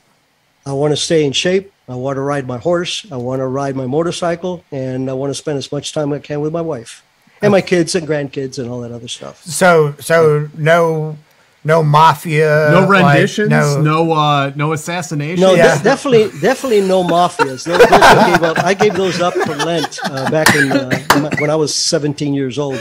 Um, but um look, I, I would be lying to you if I told you that if they knocked on my door tomorrow and they said, "Hey, could you handle this?" and if I thought that I could. Uh, obviously, I'm not going to be jumping out of airplanes anymore. I've had three neck surgeries because of free fall. Um, and uh, I am 71 years old. I'm in pretty good shape for an old man. But when you consider the uh, model year and the uh, the mileage, uh, the ninja stuff isn't there. But you know, if if if they called me to do something, I could never say no. Yeah, But that's not my intent. I'm not looking for it. I'm not looking for work. I've given up my stuff at Fort Bragg, which I I loved. I loved working the ASOT course because I was working with Raiders, I was working with SEALs, I was working with PJs, combat controllers, and Green Berets. And it was so revitalizing for me to see these young guys with three, four tours in the combat wanting to go back, willing to go back. Um, it, it will it will recharge my batteries for months. So, uh, but I gave it all up because I I need to, you know, I I think I did after 51 years. Uh, this is it. yeah. This is really it. Yeah, we, we didn't talk about it enough in the in, in this interview, but uh, about your wife Carmen, who stuck by you through all this insanity, um, just sounds like an incredible story in of itself Well, there's a couple of cool stories about her. Uh, in the book. uh, little things that she was able to do. And there's there's two stories that I'm very proud of that women uh, that are that I highlighted because of their courage and conviction and ingenuity and dedication. And um, yeah, I'm very proud of my wife. Uh, she's Cuban born, also, by the way. So that I think that that had a lot to do with uh, her support. She knew, and you know, she's finding out about all this stuff now that she's reading the book. And Ninety percent of the stuff she had no idea, except the things that she did for me. Yeah. Hey, Ric, we have a question from one of our Patreon subscribers that might, like a lot of people listening to this, might have a lot of younger people. And he says, "Dear Mr. Prado, I was medically, uh, I was not medically qualified for the military, so I stayed in school.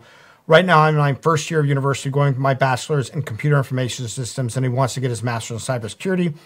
However, I want to join the agency when I'm done." Uh, but I want you to be part of like PM missions like you were, but I'm afraid it'll be the same story like when I tried to enlist. Um, can you tell us a bit about the different courses and how people who are interested in the agency might get, get in it? Well, you know, the, the, there's two distinct paths in the agency. One is through the paramilitary side, and that um, is mostly 99.9% former military folks. I can tell you an example, a very dear friend of mine who uh, was a case officer came to me and said, I want to go do this ninja stuff. And he started at CTC and he went to Ground Branch and he retired as a GS 15 and he's a rotary and fixed wing pilot, skydiver, shooter, looter, and he's got like four or five tours in the sandbox. But he did not have medical restrictions to do the paramilitary stuff. And you got to understand that the, the, the, main problem with paramilitary stuff is you have to be physically able to help your partner. Uh, let's face it, we fight, you know, we go into combat for God and country, but we end up fighting for the person that's left to you and right of you. Yeah. So you have to be able to do certain things. That that said, there are so many jobs in the agency that are exciting, that they're dangerous, that will let you get good training for shooting and driving and all that other stuff. Um, I know guys that have prosthetics. I have guys that have really bad bad, bad eyesight um, and some handicap. They end up being very successful operations officers, but not skydiving out of a you know of a C seventeen A to uh, to go into Iran. You know, that's not going to happen. And some of those tech guys, from what we've talked to in the past, some of those tech guys work side by side with like paramilitary officers and all in a lot absolutely, of situations. Absolutely. Look, we, we, we could not exist as an agency without our intelligence officers, our collect, uh, you know, our, our analysts, the people that really have the brain cells and, and, the patience to comb through thousands and thousands, the Mike Scheuers of the world. Okay. Um, our, our, uh, our technical uh, capabilities are paramount for us in both the protecting our communications and exploiting communications uh, technology, cyber, all these things are, are incredible careers for the agency. Uh, we even have a paramilitary like organization in the DDS&T, the Director of Science and Technology, which are they, for the longest time they were called also Special Activities Division because these are guys and gals who are super high tech at bugging and, and doing all kinds of fancy stuff or compromising computers but they're going out there and doing it themselves. So um, there, there's plenty of action in the in the agency at every level. Um, don't let your your physical uh, cap- uh, you know limitations keep you from applying to the agency. You you will have. I mean, I'm a believer, guys. You will have a great career in the agency in spite of the politics uh, that that exist and permeate all, all all forms of government life you will have a rewarding career. You really would. Folks, thanks, Ric. Ric Prado, Black Ops. This is the book. I hope you guys will go and check it out. Ric, thank you so much for joining us tonight on a Friday evening.